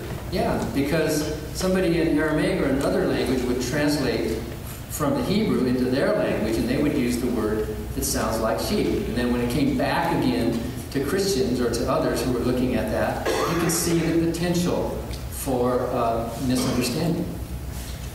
You said that the Gnostics were the first ones that they used, originally used by the Gnostics. How far back do you think the Gnostics go? What did I say? The Greek word logos, which means word, was used originally by the Gnostics. It is translated as imra in Hebrew. It's actually translated by davar. Um, and the Gnostics come after Christianity, and Philo came after, well, same century as Christianity. So I was completely lost as to what the point was because historically none of those things are true. Well, in any event, that, that word logos was used by Gnostics and others. John started his gospel with that phrase, uh, the logos, the word of God. Uh, in, in arche, you know, logos, the beginning, in the beginning was the word. So it's, it's showing that there is this, this salad, this mixture of things. And Gnostics, some scholars put Gnosticism way, way, way earlier than you, way in the early part of the first century. In fact, uh, who are the guys who wrote the Jesus Mysteries? Not that that's a great book. I don't think that's a great book, all right? Gandy and Freke. Yeah, exactly. And Baigent. Um, yeah, who um, claimed that, um, in fact, the very first Christian church was a Gnostic church. Now, I don't, I don't know all the basis of that, but we do know that scholars and experts are disagreeing with each other about these things. So, like, unlike what you say, demanding 100% certainty of proof for things, what we can do is throw out enough evidence to show that, hey, look, just like today, people confuse and get mixed up and they create new ideas and the ideas are swapping around and there's misunderstandings. Like in that movie, uh, The Life of Brian. Um, did he say, blessed are the cheesemakers? You, know, that, you know, things like that happen, especially when there's a mixture of languages. So, so, so what happened in Monty Python actually happened in history no. Jews couldn't understand the difference between sheep and word. But you understand the difference between history okay. and a joke. So, well, yeah, that, that,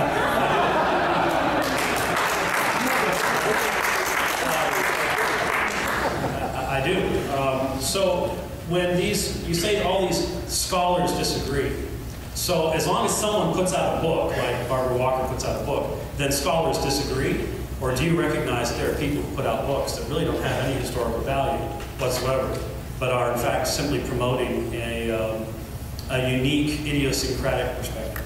That does happen, and it happens with Christians. You know, it happens with, you know, with everybody. Good question.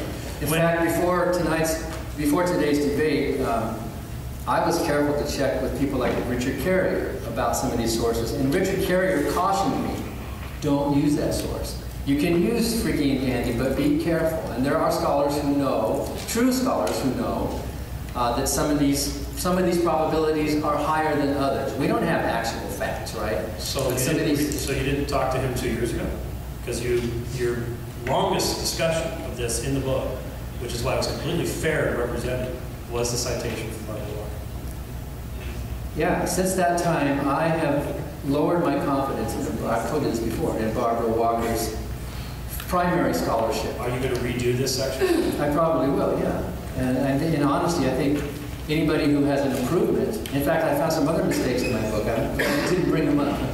Uh, Because when you're proofreading, sometimes that happens. And so uh, there are, there are corrections that have to be made, and that's why there are second editions that. When, when you said that you did interact with the information about Quirinius, did you interact with uh, Harold Hoehner's work on uh? Uh, or may- maybe um, Darrell Bock's extensive excursus in his two-volume commentary on Luke uh, that goes into the history of Quirinius? Because I, I did not see any of that in the book. No, and that was, that was just a side point in the book. Because my book is not a scholarly book, it's my personal testimony, and some of the reasons. I admitted at the outset that I'm not an expert in, ancient mythology, but I am handing, like a lot of us do in our popular writing, handing what we consider at the time to be some resources for our writings. But you are going on college campuses and telling young people that these are valid reasons for them to reject Christian faith. I am going on college campus and telling college students that here is some evidence that you can add to the mix that might lower the probability that the Christian faith is actually true. I'm not out there giving 100% proof. There is no such a concept. or thing as this 100% proof that you seem to be asking for. But when we throw all these things into the mix, some of them are stronger than others. Some of them we have to be careful about. Some of them need to be checked. Good scholars, as you know, are often uh, changing their positions in later books. And I assume you do the same thing as you learn things. So, well, so when you say I am now convinced that the Jesus story is a combination of myth and legend, is that a 80% convinced or a 90% convinced? It's- How do we even understand the word convinced? Well, it's more than 50 at least, or you wouldn't have the probability rounding off, right? It's more than 50, and I think just in my own armchair analysis, it's probably a 90% convinced, which is pretty high. And when you look at it the other way, though, a lot of Christians who don't deal with probabilities, they, they're dealing with what they think are fact. They take any probability and say, aha, I can round it to one, you know. Most scholars are careful enough to, to, be, to, to hedge their bets, because Jesus may have existed. And I admit that atheists and agnostics disagree on that. Uh, Mark may have believed in an actual historical Jesus. He may not have. But in any event, when you, can, when you take a cumulative case of all these issues, some stronger than others, some with a higher probability than others, and you put them all together, in my mind, it is more reasonable not to believe in a historical Jesus than it is to believe in. So when you put together 20 different cases, each of which contradicts the other, that increases the probability Jesus didn't exist when they contradict each other? Yeah, because the, the, pro, the, the one that you add that he did exist is even a smaller percentage. Do you see? Well, I'm not arguing that they all have to be You true. put them all on the same level, even though they all contradict each other. Well, I'm not arguing they all have to be true. What I'm saying, as long as there do exist viable naturalistic explanations to some level of probability or other, as long as those have not been ruled out conclusively, then it is irresponsible to jump to the conclusion of the historicity of Jesus, which is just one of many hypotheses. It's more reasonable, at least to be agnostic about it. And in my case, I think it's higher than 50% that Jesus did not exist. But you're welcome to try to prove me wrong if you if you uh, demand of yourself the same level of proof that you demand of me.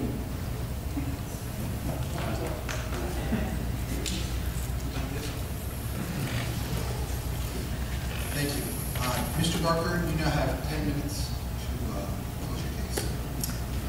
Well, this is perfect because I wrote for my closing statement here that seems to me that James has raised the bar of proof to an impossible level.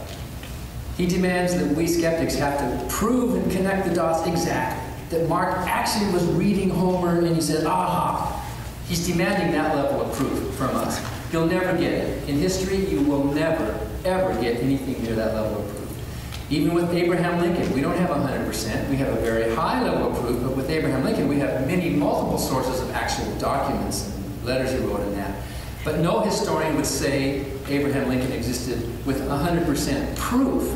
We would say it's a 99.98% probability, and let's go with that. In fact, all sciences are like that.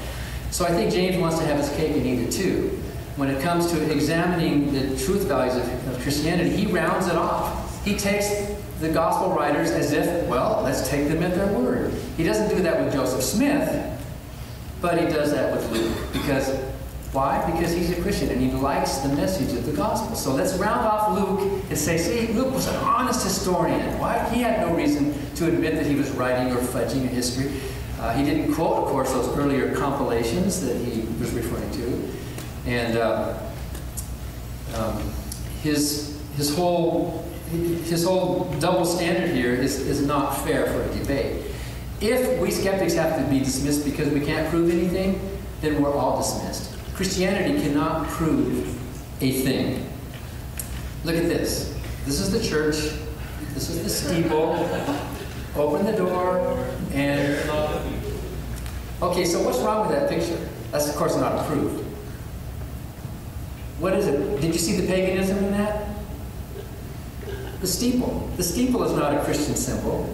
The steeple comes from pagan ideas, the, the Egyptian obelisk and others reaching up to God, humans reaching up to God. And in fact, some of those uh, steeples and spires were phallic symbols to pierce the heavens so that it would rain to impregnate the earth. There's no steeple in the New Testament. And I think, I think James would even agree steeples are not necessary for Christianity. I think he would support me on that. It's just a later thing that happened that we're sort of accustomed and yet a steeple on a church building is a pagan symbol. I'm pretty sure James agrees with me that later Christianity, at least from Constantine on, was in the habit of borrowing from paganism. The whole idea of the clergy, the whole idea of these clerical vestments, the whole idea that we should wear a coat and a tie when we're in the house of God. All these things that, come. in fact, I just read, um, where is it? George Barna Frank Viola's book, Pagan Christianity. These are devout Christians uh, George Barna is a, I guess, evangelical. I, I, I disagree with his theology, but I respect his honesty, showing how at least the modern church, much of what we do when we do church, comes from paganism. A lot of the stuff, the early Christian church, if it existed, didn't have any of this stuff. So at least we have to admit that Christianity at some level has borrowed from paganism in many different ways. And my question then is what makes the first century believers exempt from that proclivity to borrow, right? Were they somehow a new breed of people who had faults? Were they somehow suddenly just out of nowhere, suddenly they just got the truth in a vacuum? Yet is it imaginable that they did not know any of the Greek or Egyptian or Canaanite or Mesopotamian or Persian ideas that were floating around at the time? Is that impossible? Of course not, especially the ones who were educated enough to write books like Luke, or like, especially like Mark, the first gospel. Mark was written earliest, as you all know, and Matthew and Luke patterned to a large degree their gospels upon Mark. I agree with you about Dan Brown. Uh, I do remember reading in the preface or the front page that he admitted to certain facts, but he said the rest of it is fictional. Uh, maybe I should go back and read the book. It was a good read, but really it was a bad. In fact, this whole thing about Jehovah, I thought was laughable. Did you read that thing about how the word Jehovah came from? You know, Jehovah is not even a word in the Bible. It's just a, a mistake because of misplaced vowels that were put in the consonants between Yahweh. There was a lot more I could have said. I could have given more examples. And it, it, as the further you go in MacDonald's book on the parallels uh, in the storytelling, they're not exact. And, and MacDonald admits that some of these are stronger than others and some of these are weaker than others. Just like my three little donkey story isn't an exact parallel but you see it, or Romeo and Juliet in West Side Story. I could have talked about this Isis cult, a direct first-person account of an imitation, initiation in an Isis cult in which the congregant undergoes a simulated death and resurrection involving baptism by water. And he calls this phrase, he calls it being born again, which grants eternal salvation. And this was an emulation, not a copy of Osiris, who definitely was an incarnated God. He judges the dead and so on. We can find all sorts of these parallels floating around at the time. Christianity may have had a unique story. The flying spaghetti monster has a unique story, right? Christians might think it's so special that somebody died for our sins. And by the way, that word soter is important. Modern Greeks say soter, but scholars say soter, uh, the Savior.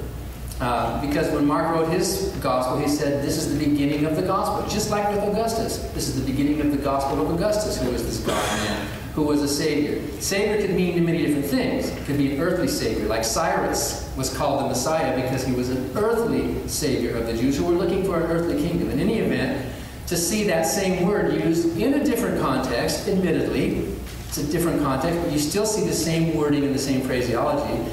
Uh, I think that is a very strong clue. It's not a direct proof that connects the dots, but I think James is right to so quickly dismiss all of these amazing parallels that we see. We know there were many pre Christian Christ figures, and by the way, Christ is not a name. And even in the second century references to Christ, they don't refer to Jesus. Suetonius didn't refer to Jesus. Tacitus did not refer to Jesus. Um, a lot of these later supposed evidence for Christianity don't name Jesus, they name this Christ figure. And there may have been Christians in Rome, but that doesn't mean they were followers of Jesus. There were other people who were Christ followers. There were other self-proclaimed Jewish messiahs who were the anointed ones, the Christs. So the mere mention of a Christ doesn't, isn't necessarily a mention of a historical Jesus. We know there were virgin births or divine births. We know there were births that were prophesied before then. We know there were miracles and healings and exorcisms done by people before the Christian story. We know that there's three stories at least of Dionysus changing water into wine. In one case, it was a spring of water that suddenly changed into a spring of wine. They, many of them were put to death and came back to life. Many of these people were called sons of God. Many of them were called the Soter, the Savior. Some of them brought peace on earth. What is the Pax Romana? It's a peace on earth, but of course you know it's a military peace. And even in the Bible, the word peace in the Old Testament was a subjugating kind of peace. There will be peace when all my enemies are either killed or turned into slaves. That's the kind of peace they're talking about. So there's, there's little doubt in my mind, although I can't give you 100% probability on it, and nobody can, and no Christian can give you 100% historical probability of the truth of Christianity. There's little doubt in my mind that Christians today are worshiping a pagan God. It's, and there's nothing wrong with pagan. The word pagan is just, you know, the pre-existing myths in that. There's no doubt in my mind that what Christians think is so special, well, it has some specialness. West Side Story is special. Nobody thinks that Juliet broke into I feel pretty, I feel pretty back in Shakespeare. Nobody thinks that actually happened because it's a modernization of Shakespeare's work. And so there are some stories about Jesus that, whoa, they're special, they're different. Isn't that amazing? But all religions can say that. We skeptics, we humanists, we atheists, we agnostics, we, we agree with you believers. We reject the truth of Osiris. We don't believe in that Augustus was born of a virgin. We don't think that Romulus was prophesied to be a kingdom on earth. We reject all those things. We think those are exaggerations and wishful story writing by the people who wanted to elevate their particular point of view. We reject all these gods, the Dionysuses and the Attises and the Tammuzes and, uh, and you name them, the Ahriman devil fighting against the Ahura Mazda Zoroastrians, which inspired the Jews to have the Satan figure. Which, by the way, he didn't comment on that tonight, but in, um, we reject all those gods, all those beliefs, just as you do. You all you agree with us. You're skeptical too, aren't you? You're skeptical that those were actually true stories. The difference between you and me is that I believe in one less God than you do. I, you know, for Christianity, it smells fishy, well, or the fish It smells funny to me. It looks like it was cut from the same fabric. It has its differences, but in my mind, there is little doubt that Christianity was cut or emulated, basically, from previous ancient mythology.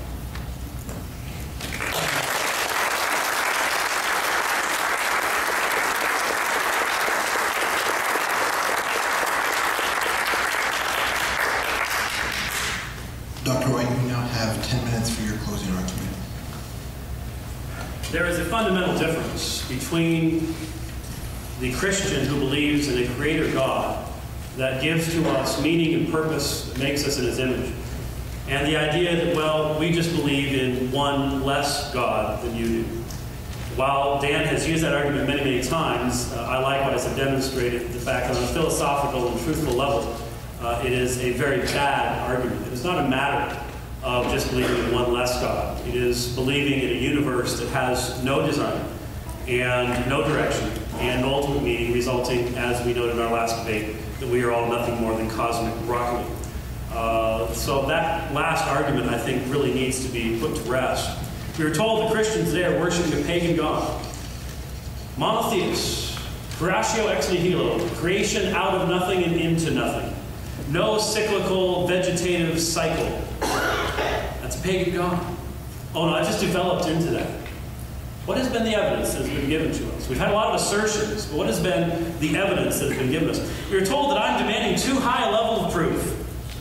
So when someone takes the affirmative in a debate and says that Jesus was a myth, and I ask, okay, you're saying that these writers were using these sources, could you at least demonstrate that those sources have some consistency to what the writer is attempting to accomplish? I mean, he's trying to get monotheistic Jews to believe in this Jesus, and so you're telling me that he's using pagan stories to do that. I find that absurd. Why is that not absurd? Is that too high a level of proof to ask? When people draw the Mithra example, shouldn't you be able to prove that Mithraism was known in Israel at that time? Osiris, Isis was just presented to us. The very religions the Jews hated the most of all, the Egyptian religions. Oh, they would use those as the parallels to draw these things in to bring you in. I'm sorry, that's not history, and that's not rational thought. There's a prejudice involved here, a deep prejudice involved here. Who has the prejudice? Um, he accuses me of using double standards about Joseph Smith. I have studied Joseph Smith's writings in depth. And you cannot look at Luke and find the book of Abraham. The book of Abraham in the Pearl of Great Price that Joseph Smith claimed was actually written by the hand of Abraham himself upon papyri. That is actually from the Egyptian book of breathings, the Egyptian book of the dead. The papyri were found, we've translated them, we know what they are. He never got a word right. Well, he did translate the word the into about 43 different English words, and the was in there. So I guess you can give him that. But we have examined the evidence, and Joseph Smith was not a prophet. He claimed to be translating these things. He had the gift and power of God. He could not do so. There is no parallel to Luke. Luke is not writing historical fiction. It wasn't even a genre he would have been familiar with. His own words tell us what he's doing. And then, and if you, if you will seriously examine his own works, you'll find that Luke is an incredible historian. People wondered for many, many years why does Luke keep using different Greek words for rulers and, and even lower level people in government as he narrates Paul's uh, movement through Asia Minor? We now have found out why. Every place we can test, where we can find archaeological evidence, inscriptions, manuscripts, or whatever, Luke was exactly right in knowing that in one area, for example, in, in, in Phoenix, we have a sheriff. It is Arizona, after all. Um, there are a lot of places don't have sheriffs.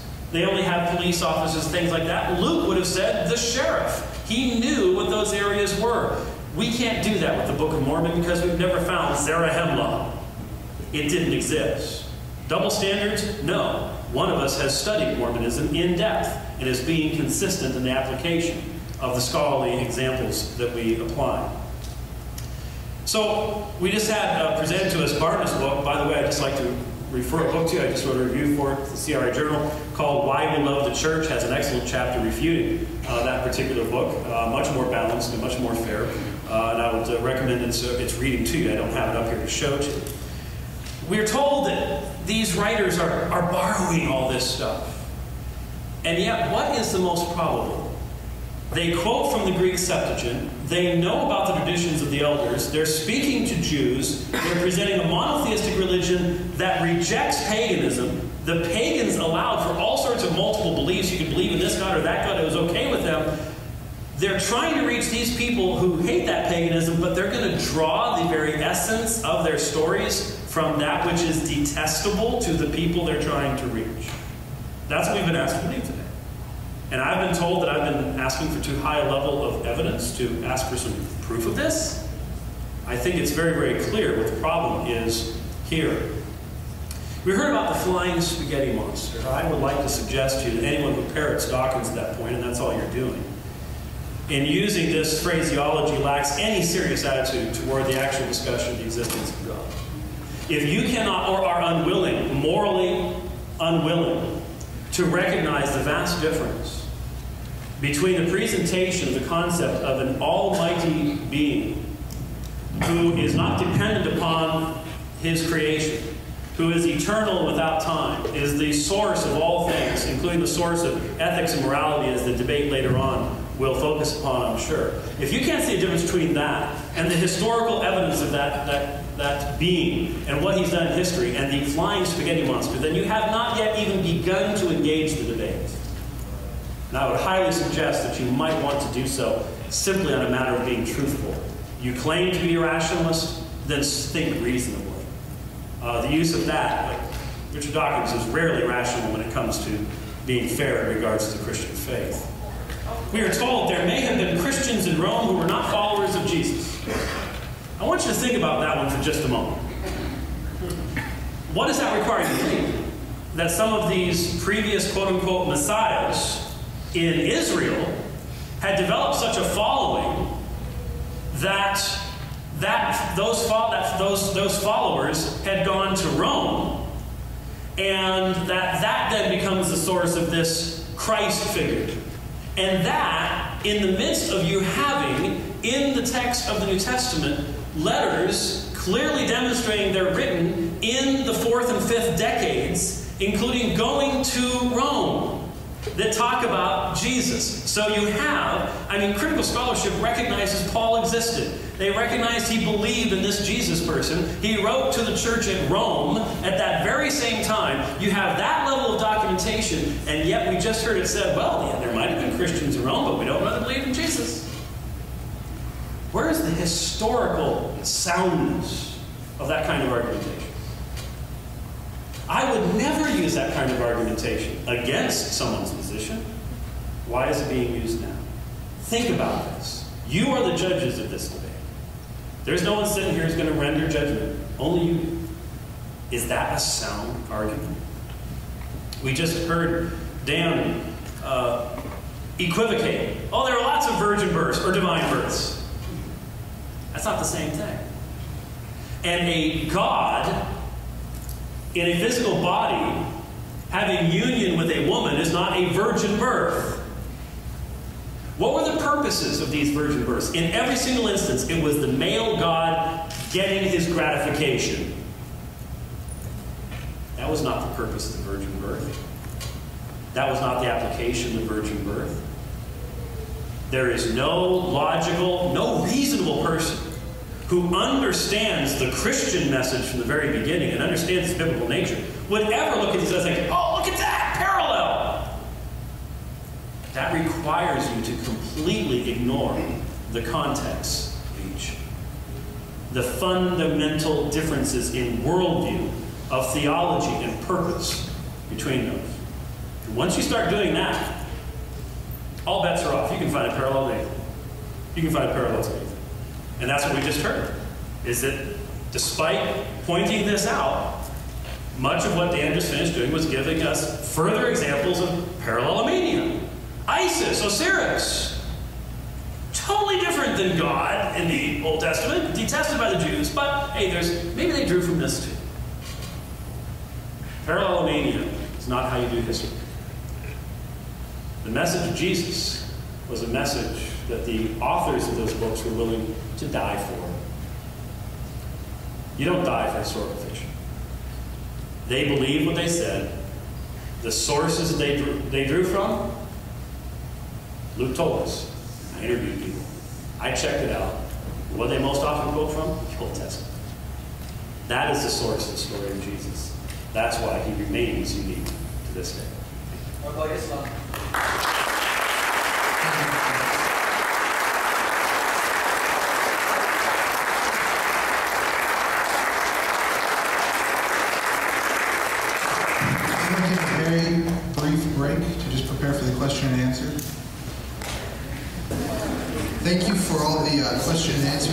Received. Um, we're going to start with a question for Mr. Barker since uh, Mr. White closed first. First question for you, Mr. Barker, is this. Collectively, we have hundreds of flood myths from different people groups from all over the world. Using your logic, what is the probability that the flood of Noah actually happened? If the flood of Noah was worldwide, the probability is 0.00001 that that flood actually. If the flood of Noah is an exaggeration of a local flood, which did happen all over the world in many cases, and there are flood, there are even flood myths within my Native American ancestries, you know, and of course that was their whole world. When my granddad was a little boy, where he lived in Oklahoma Indian Territory, he called that the country. That was the whole world. So a localized flood to a lot of these people was a worldwide flood. It was their world being flooded, right? So uh, the fact that there are so many similar uh, and even previous to the Old Testament, the Gilgamesh epic and all those things, uh, flood myths uh, around the world doesn't prove the truth of the Noah story. What it proves is the ubiquity of floods around our planet. Thank you. Uh, Dr. White, you have 60 seconds to respond to that. Well, I found that interesting that if you would refer to the American Indian uh, recollection of this, uh, that that would be just of a local flood in a particular area. I think the point of the question was uh, that there is a collective memory of a cataclysmic event, and I think the argument of the question was, and questions people may have arguments, is that if it is a matter of taking all these things together, that if you're going to be consistent, that you would have to say, well, something definitely happened back then. It wasn't just simply in one area. Uh, it uh, impacted uh, pretty much all of ancient history at that particular point in time. Uh, from a Christian perspective, you'd look at the Gilgamesh and things like that, and you would see that as an echo uh, of what is uh, provided in inspired scripture as to the actual narrative of the events that took place as well. Thank you. To Mr. White, Dr. White, I apologize. Is it your position that the willingness to die for a belief lends a specific validity to that belief? When the issue uh, which we were discussing was the concept of historical fiction, yes. Uh, I think if someone walked up to Dan Brown and put a gun to his head and said, Dan Brown, admit that what you wrote in Da Vinci Code was a bunch of fiction and that it is not in fact truthful, uh, Dan Brown's going to say, are you kidding? Of course, uh, as is Michener or anybody else. Uh, the point is that the idea of the Gospels being this kind of historical fiction does not fit the texts themselves. It does not fit the authors. It does not fit the text that we have and possess today. It does not fit the context in which they were written. It does not fit the purposes for which they were written. And so, in that specific context, a willingness, uh, an unwillingness to say this is fiction, um, I'm lying to you. I'm, I'm drawing from all these different religious sources. I, I, I, I know more about world religions than people in the West do in the modern times after graduating from college. I, even though I'm a fisherman in, in Galilee, I know all this stuff and I'm drawing from all this stuff. And I'm going to go to my death saying what I said was true. Um, yeah, I think in that context, uh, it's very relevant. It's not a matter of making it truthful. It's a matter of demonstrating that the authors themselves did not view their works the way they're being presented today. We don't know who the author of Mark was. We don't know how that author died. We have some second century stories of how some of the later followers of Christianity died, uh, not corroborated by history. Um, one of the strongest testaments, I think, to the willingness of somebody to die for a belief that they think is true, even if the original authors didn't, is 9 11. They were willing to put their life on the line. They probably were smiling and singing to Allah when they did this good deed. They gave their lives willingly for the goodness of their God. That's crazy. We all think that is nuts. We all think that is dangerous. You can't use martyrdom as a proof of the validity of the intentions of the minds of the authors of the original documents. Now, you tell me how Mark died or even who he was and how we know that with any level of probability at all. So, um, martyrdom is a proof of faith and devotion But it's not a, a historical proof of the fact of the document upon which that faith is based. Thank you, Mr. Barker.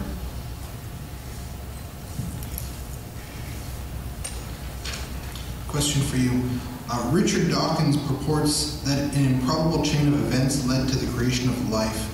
And your comments today on the science of history, based on your, science, your comments today on the science of history, if history is based on an examination of probabilities, then can the improbability of life or the universe point to the existence of God? It could, you know, if there's a God. But I think that misconstrues Dawkins. I think when you look at the improbability of anything happening at one step, it's extremely tiny. Dawkins is right. But if you add those up over a long, long, long period of time, you know, the evolution of the eye, for example, there was no point back there where they said, oh, look, a change happened. Oh, look. There was no way you're going to notice a change happening in evolution. So over, over very long periods of time, these probabilities don't multiply, they add up. If you multiply probabilities, of course, you're going to get less and less and less. So it's a misconstrual to think of probabilities in that term. Uh, what's the probability that, uh, you know, pick the right number between 1 and 100? Pretty low, right? But what if I get a million chances? Pretty high. So probabilities can be extremely low, and yet with the repetition of, over a long period of time, um, you can see that in fact it would be a true miracle if I did not pick the right number. It would be a true miracle if these probabilities did not, over the vast periods of time, change and improve. In fact, some evolution goes backwards. Some evolution goes to extinction. A lot of it is, 99% of it is, is, a, is a failure. Nobody's directing it. But for those of us who survive, we are the benefits of those laws of probability. And, and I think it's, a, it's, it's, because we don't have an intuitive concept in our own brains of, about the law of large numbers. We evolved kind of with smaller, we can think in hundreds of thousands or so, but the large numbers to us don't seem intuitive, so it seems improbable when actually Dawkins shows that you can climb the mountain Improbable. Dr. White? The problem is that the neo-Darwinian micro-mutational evolutionary model that Richard Dawkins promotes has been severely undercut over the past 15 years, especially the Genome Project uh, has demonstrated that it is not by one small change that change takes place. In fact, for many things, you have entire gene complexes that have to change. We've discovered that, for example, you can have a, a, a change in a base pair that will not affect anything whatsoever. Sometimes they'll take 10 or 15 changes to change a, a single uh, uh, gene action. And so you, what you really have is a, a system that is moving forward on its own inertia at that time. There is so much solid reason uh, to reject what Richard Dawkins has to say. I read his book fresh out of college and detected those things even then. It, it's amazing how long uh, that kind of stuff keeps going on. But we are talking about myths today, and they take, they take a while to die. Thank you, Dr. White. He's a good debater. Dr. White, why is it that naturalism is not a valid option in interpreting, interpreting history on whether or not the Jesus story is cut from other ancient mythologies? What I said was that uh, Mr. Barker, as a naturalist and materialist, is very uh, wedded to his worldview. And that in the fourth argument that he presented on that uh, page in, in Godless, uh, that in essence it seemed to me that he was dismissing the Christian sources as having historical value because of the element of supernaturalism that is in them. Uh, he has attempted to clarify that, which I appreciate. Uh, but the fact remains that the vast majority of atheists, um, even though we possess uh, a body of documents that we know come from the first century, that we know come from the very context in which Christianity came, they are the last things we look to for the answers as to what the origin and source of this entire story, this movement was.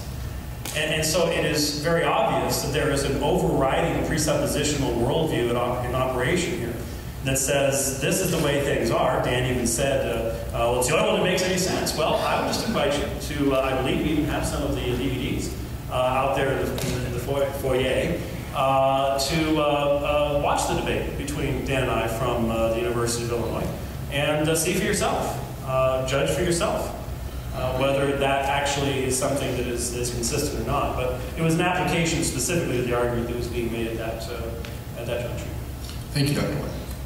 a, a metaphysical naturalism, whether I have it or not, or perhaps even just a methodological naturalism, is irrelevant to whether history itself is a valid tool for examining violations of natural regularity. I was careful in my book to point out and to repeat today that if miracles happened, we can't rule them out. Maybe there's some things we just don't yet understand. You know, savages in the Amazon might think that I shouldn't call them savages. Sorry, because they're very ethical, good people. But they might see one of our TVs and say that's a miracle, not knowing what's going on. So yeah, we might be surprised today to say, oh, somebody can walk on water. Oh, actually, a virgin can conceive without any DNA from a human father. You know. And by the way, I was not equivocating by saying virgin versus divine births, because some of those divine births were from women who were not virgins. They were married women who got impregnated by a god. I was not trying to say there was a difference there. So, oh, our time's up? All right. Uh, Dan, given that, that you believe that Mark was copying Homer and others, why is it that people of that time period didn't recognize this and accept it as historical fiction? Well, Mark was not copying Homer. He was emulating Homer in the same way that West Side Story is not copying Romeo and Juliet, right? It's taking a previous idea or a cluster of ideas and working with them to create a new work of art. Home, uh, the author of Mark was educated. His, his Greek was kind of crude and rustic, I understand. Uh, I'm not a Greek expert. I can, I can barely translate the New Testament from Greek using a lexicon, but I don't pretend to be an authority on that. But at least I do read that Mark's Greek was, on the one hand, kind of crude, but on the other hand, quite brilliant in the way he was telling this story. It really was a beautiful work of art that he was putting together. I don't think um, Mark was expecting that all of the readers would have known, aha, he's copying Homer. He probably expected that educated readers would know that. He probably expected that other people who were trained as writers in Greek, who were literate, would probably see that. Just like I assumed that you would see the Three Little Pigs. I knew that the culture that we live in. Uh, but uh, I don't think that was important to him. I think he was just using the template of the day for him to say, look, at our God is at least as good, if not, and it's sometimes even better than your God. Dr. White? On page 272 of Godless, uh, Dan says the Jesus mysteries was the original Jesus, the pagan God, makes a compelling case that the original Christians were indeed Gnostics, that the story of Jesus was invented by Hellenistic Jews in Alexandria as a mystery play patterned after the Osiris Dionysus mystery cults, and was not to be taken literally. Which is it? Which is it? Uh, well, he's patterning, patterning himself after Homer. Uh, well, actually, he's patterning he's borrowing from Romulus. Actually, it's Osiris and Dionysus, and it's the Gnostics, even though most scholars, the vast majority of scholarship sees them coming after Christianity, and, and, and they are the ones that are changed for Christianity, not the other. But which one is it? They're all contradictory. Hmm. And why are these being embraced in light of the obvious fact that we have a clear, non contradictory, doesn't take special pleading to know the background of the New Testament in Second Temple Judaism? Thank you. Dr. White, even if we were to agree that the Jesus story was not deliberately copied from other naturalistic religions, why can we not conclude that the authors subconsciously were influenced by these stories and writings that they may have perhaps not read but heard? Well, again, what would be the stories that these people heard when they were growing up? Paul, you can at least you can at least argue Paul in Tarsus would have had at least some exposure to paganism, though as a observant Jew he would have hated it and wouldn't have done that voluntarily. But the other the other writers, where, where are you going to get this idea that in the, the observant Jewish homes of Galilee or Judea, that the stories that the young people were hearing wasn't the Maccabees, it wasn't the prophets, it was Dionysus or Isis. And that somehow, when they heard those, instead of finding those to be repulsive, they're attracted to them, so they include them. Not just one person, but multiple writers. Um, I find that to be an amazingly long stretch that exists solely in the face of, again, clear, understandable, consistent evidence in regards to what the background of the Jesus story is that has not been challenged. We've had no challenge that the background of the Jesus story is first century Palestine, Tannaitic Judaism, the Greek Septuagint, the prophets, the writings of the Old Testament, and uh, Pharisaism, the Sadducees, etc. There's no, there's no challenge to that because there can't be any challenge to that. It's a historical reality. Thank you. We do have direct, clear evidence that James is wrong about this from the Old Testament. The Jews indeed were in the habit of following after what they called false gods. They embraced paganism. They knew it. In fact, much of the Old Testament is dedicated to combating that exact tendency within the Jewish people to be attracted to these Baals and the gods of Canaan and the, the Shamash from the Mesopotamians and on and on. Those people had that tendency. Does it surprise you that some Jews in the first century would still have that proclivity, that what you might call a weakness of mind, but others might call an openness and liberality of mind? Uh, your argument about it being such a despised thing doesn't hold water when you see in your very scriptures that those very people who went to those very temples in Judaism were actually quite familiar with and exposed to and eager to embrace those other pagan gods. Thank you. Uh, two more questions, one for each speaker.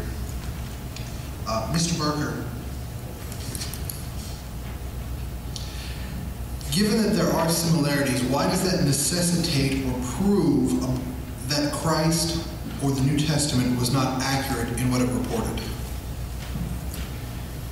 Well, and again, there's that word proof again, right? Uh, and I think James agrees with me that history is a matter of probabilities. I think he does. Uh, our difference is that his probabilities are high in his mind on the Christian evidences, and mine are low. But still, nobody has any proof of any of this stuff.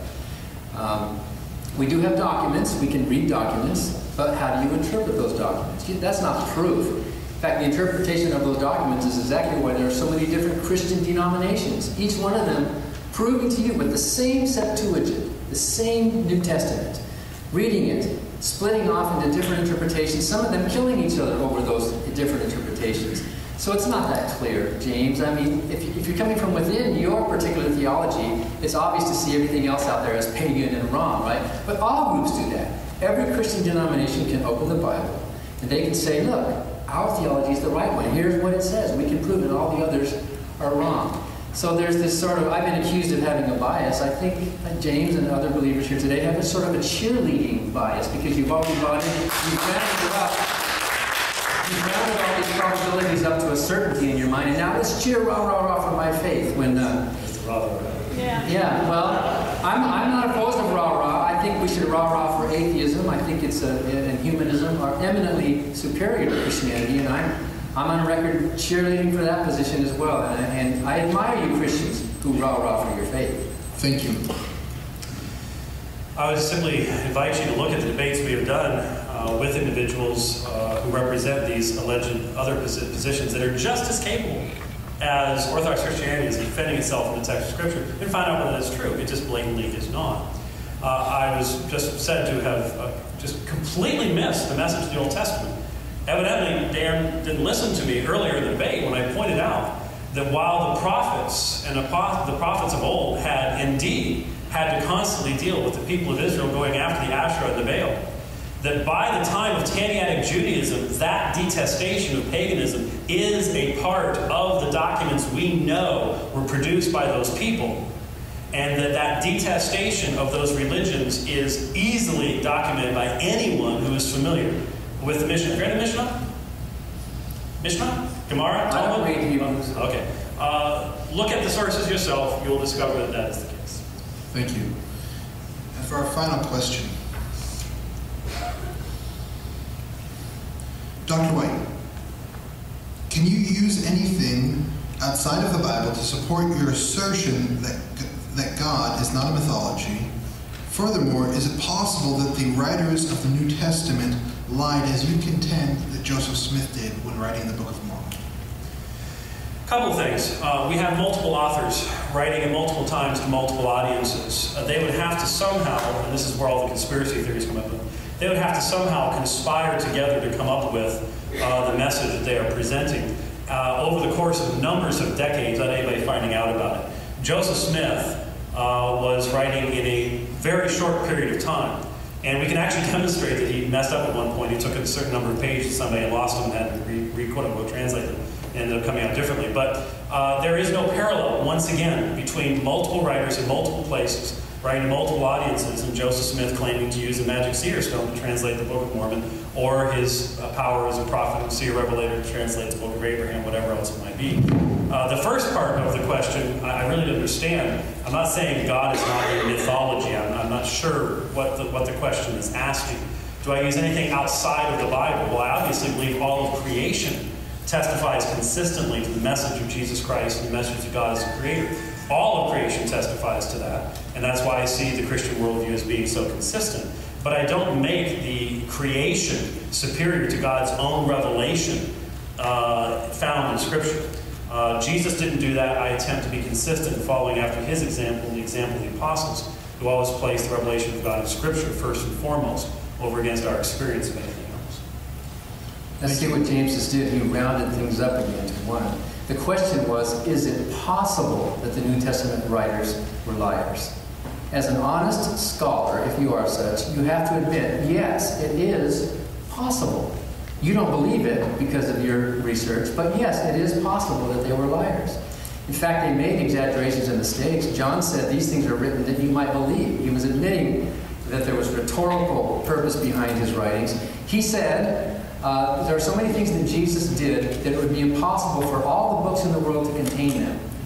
That's, that's wrong. That's an exaggeration. That's a lie. Nobody. I have some biographies of George Gershwin that take up this much of my space on my shelf, but it's impossible that Jesus would have lived a 33-year-old life.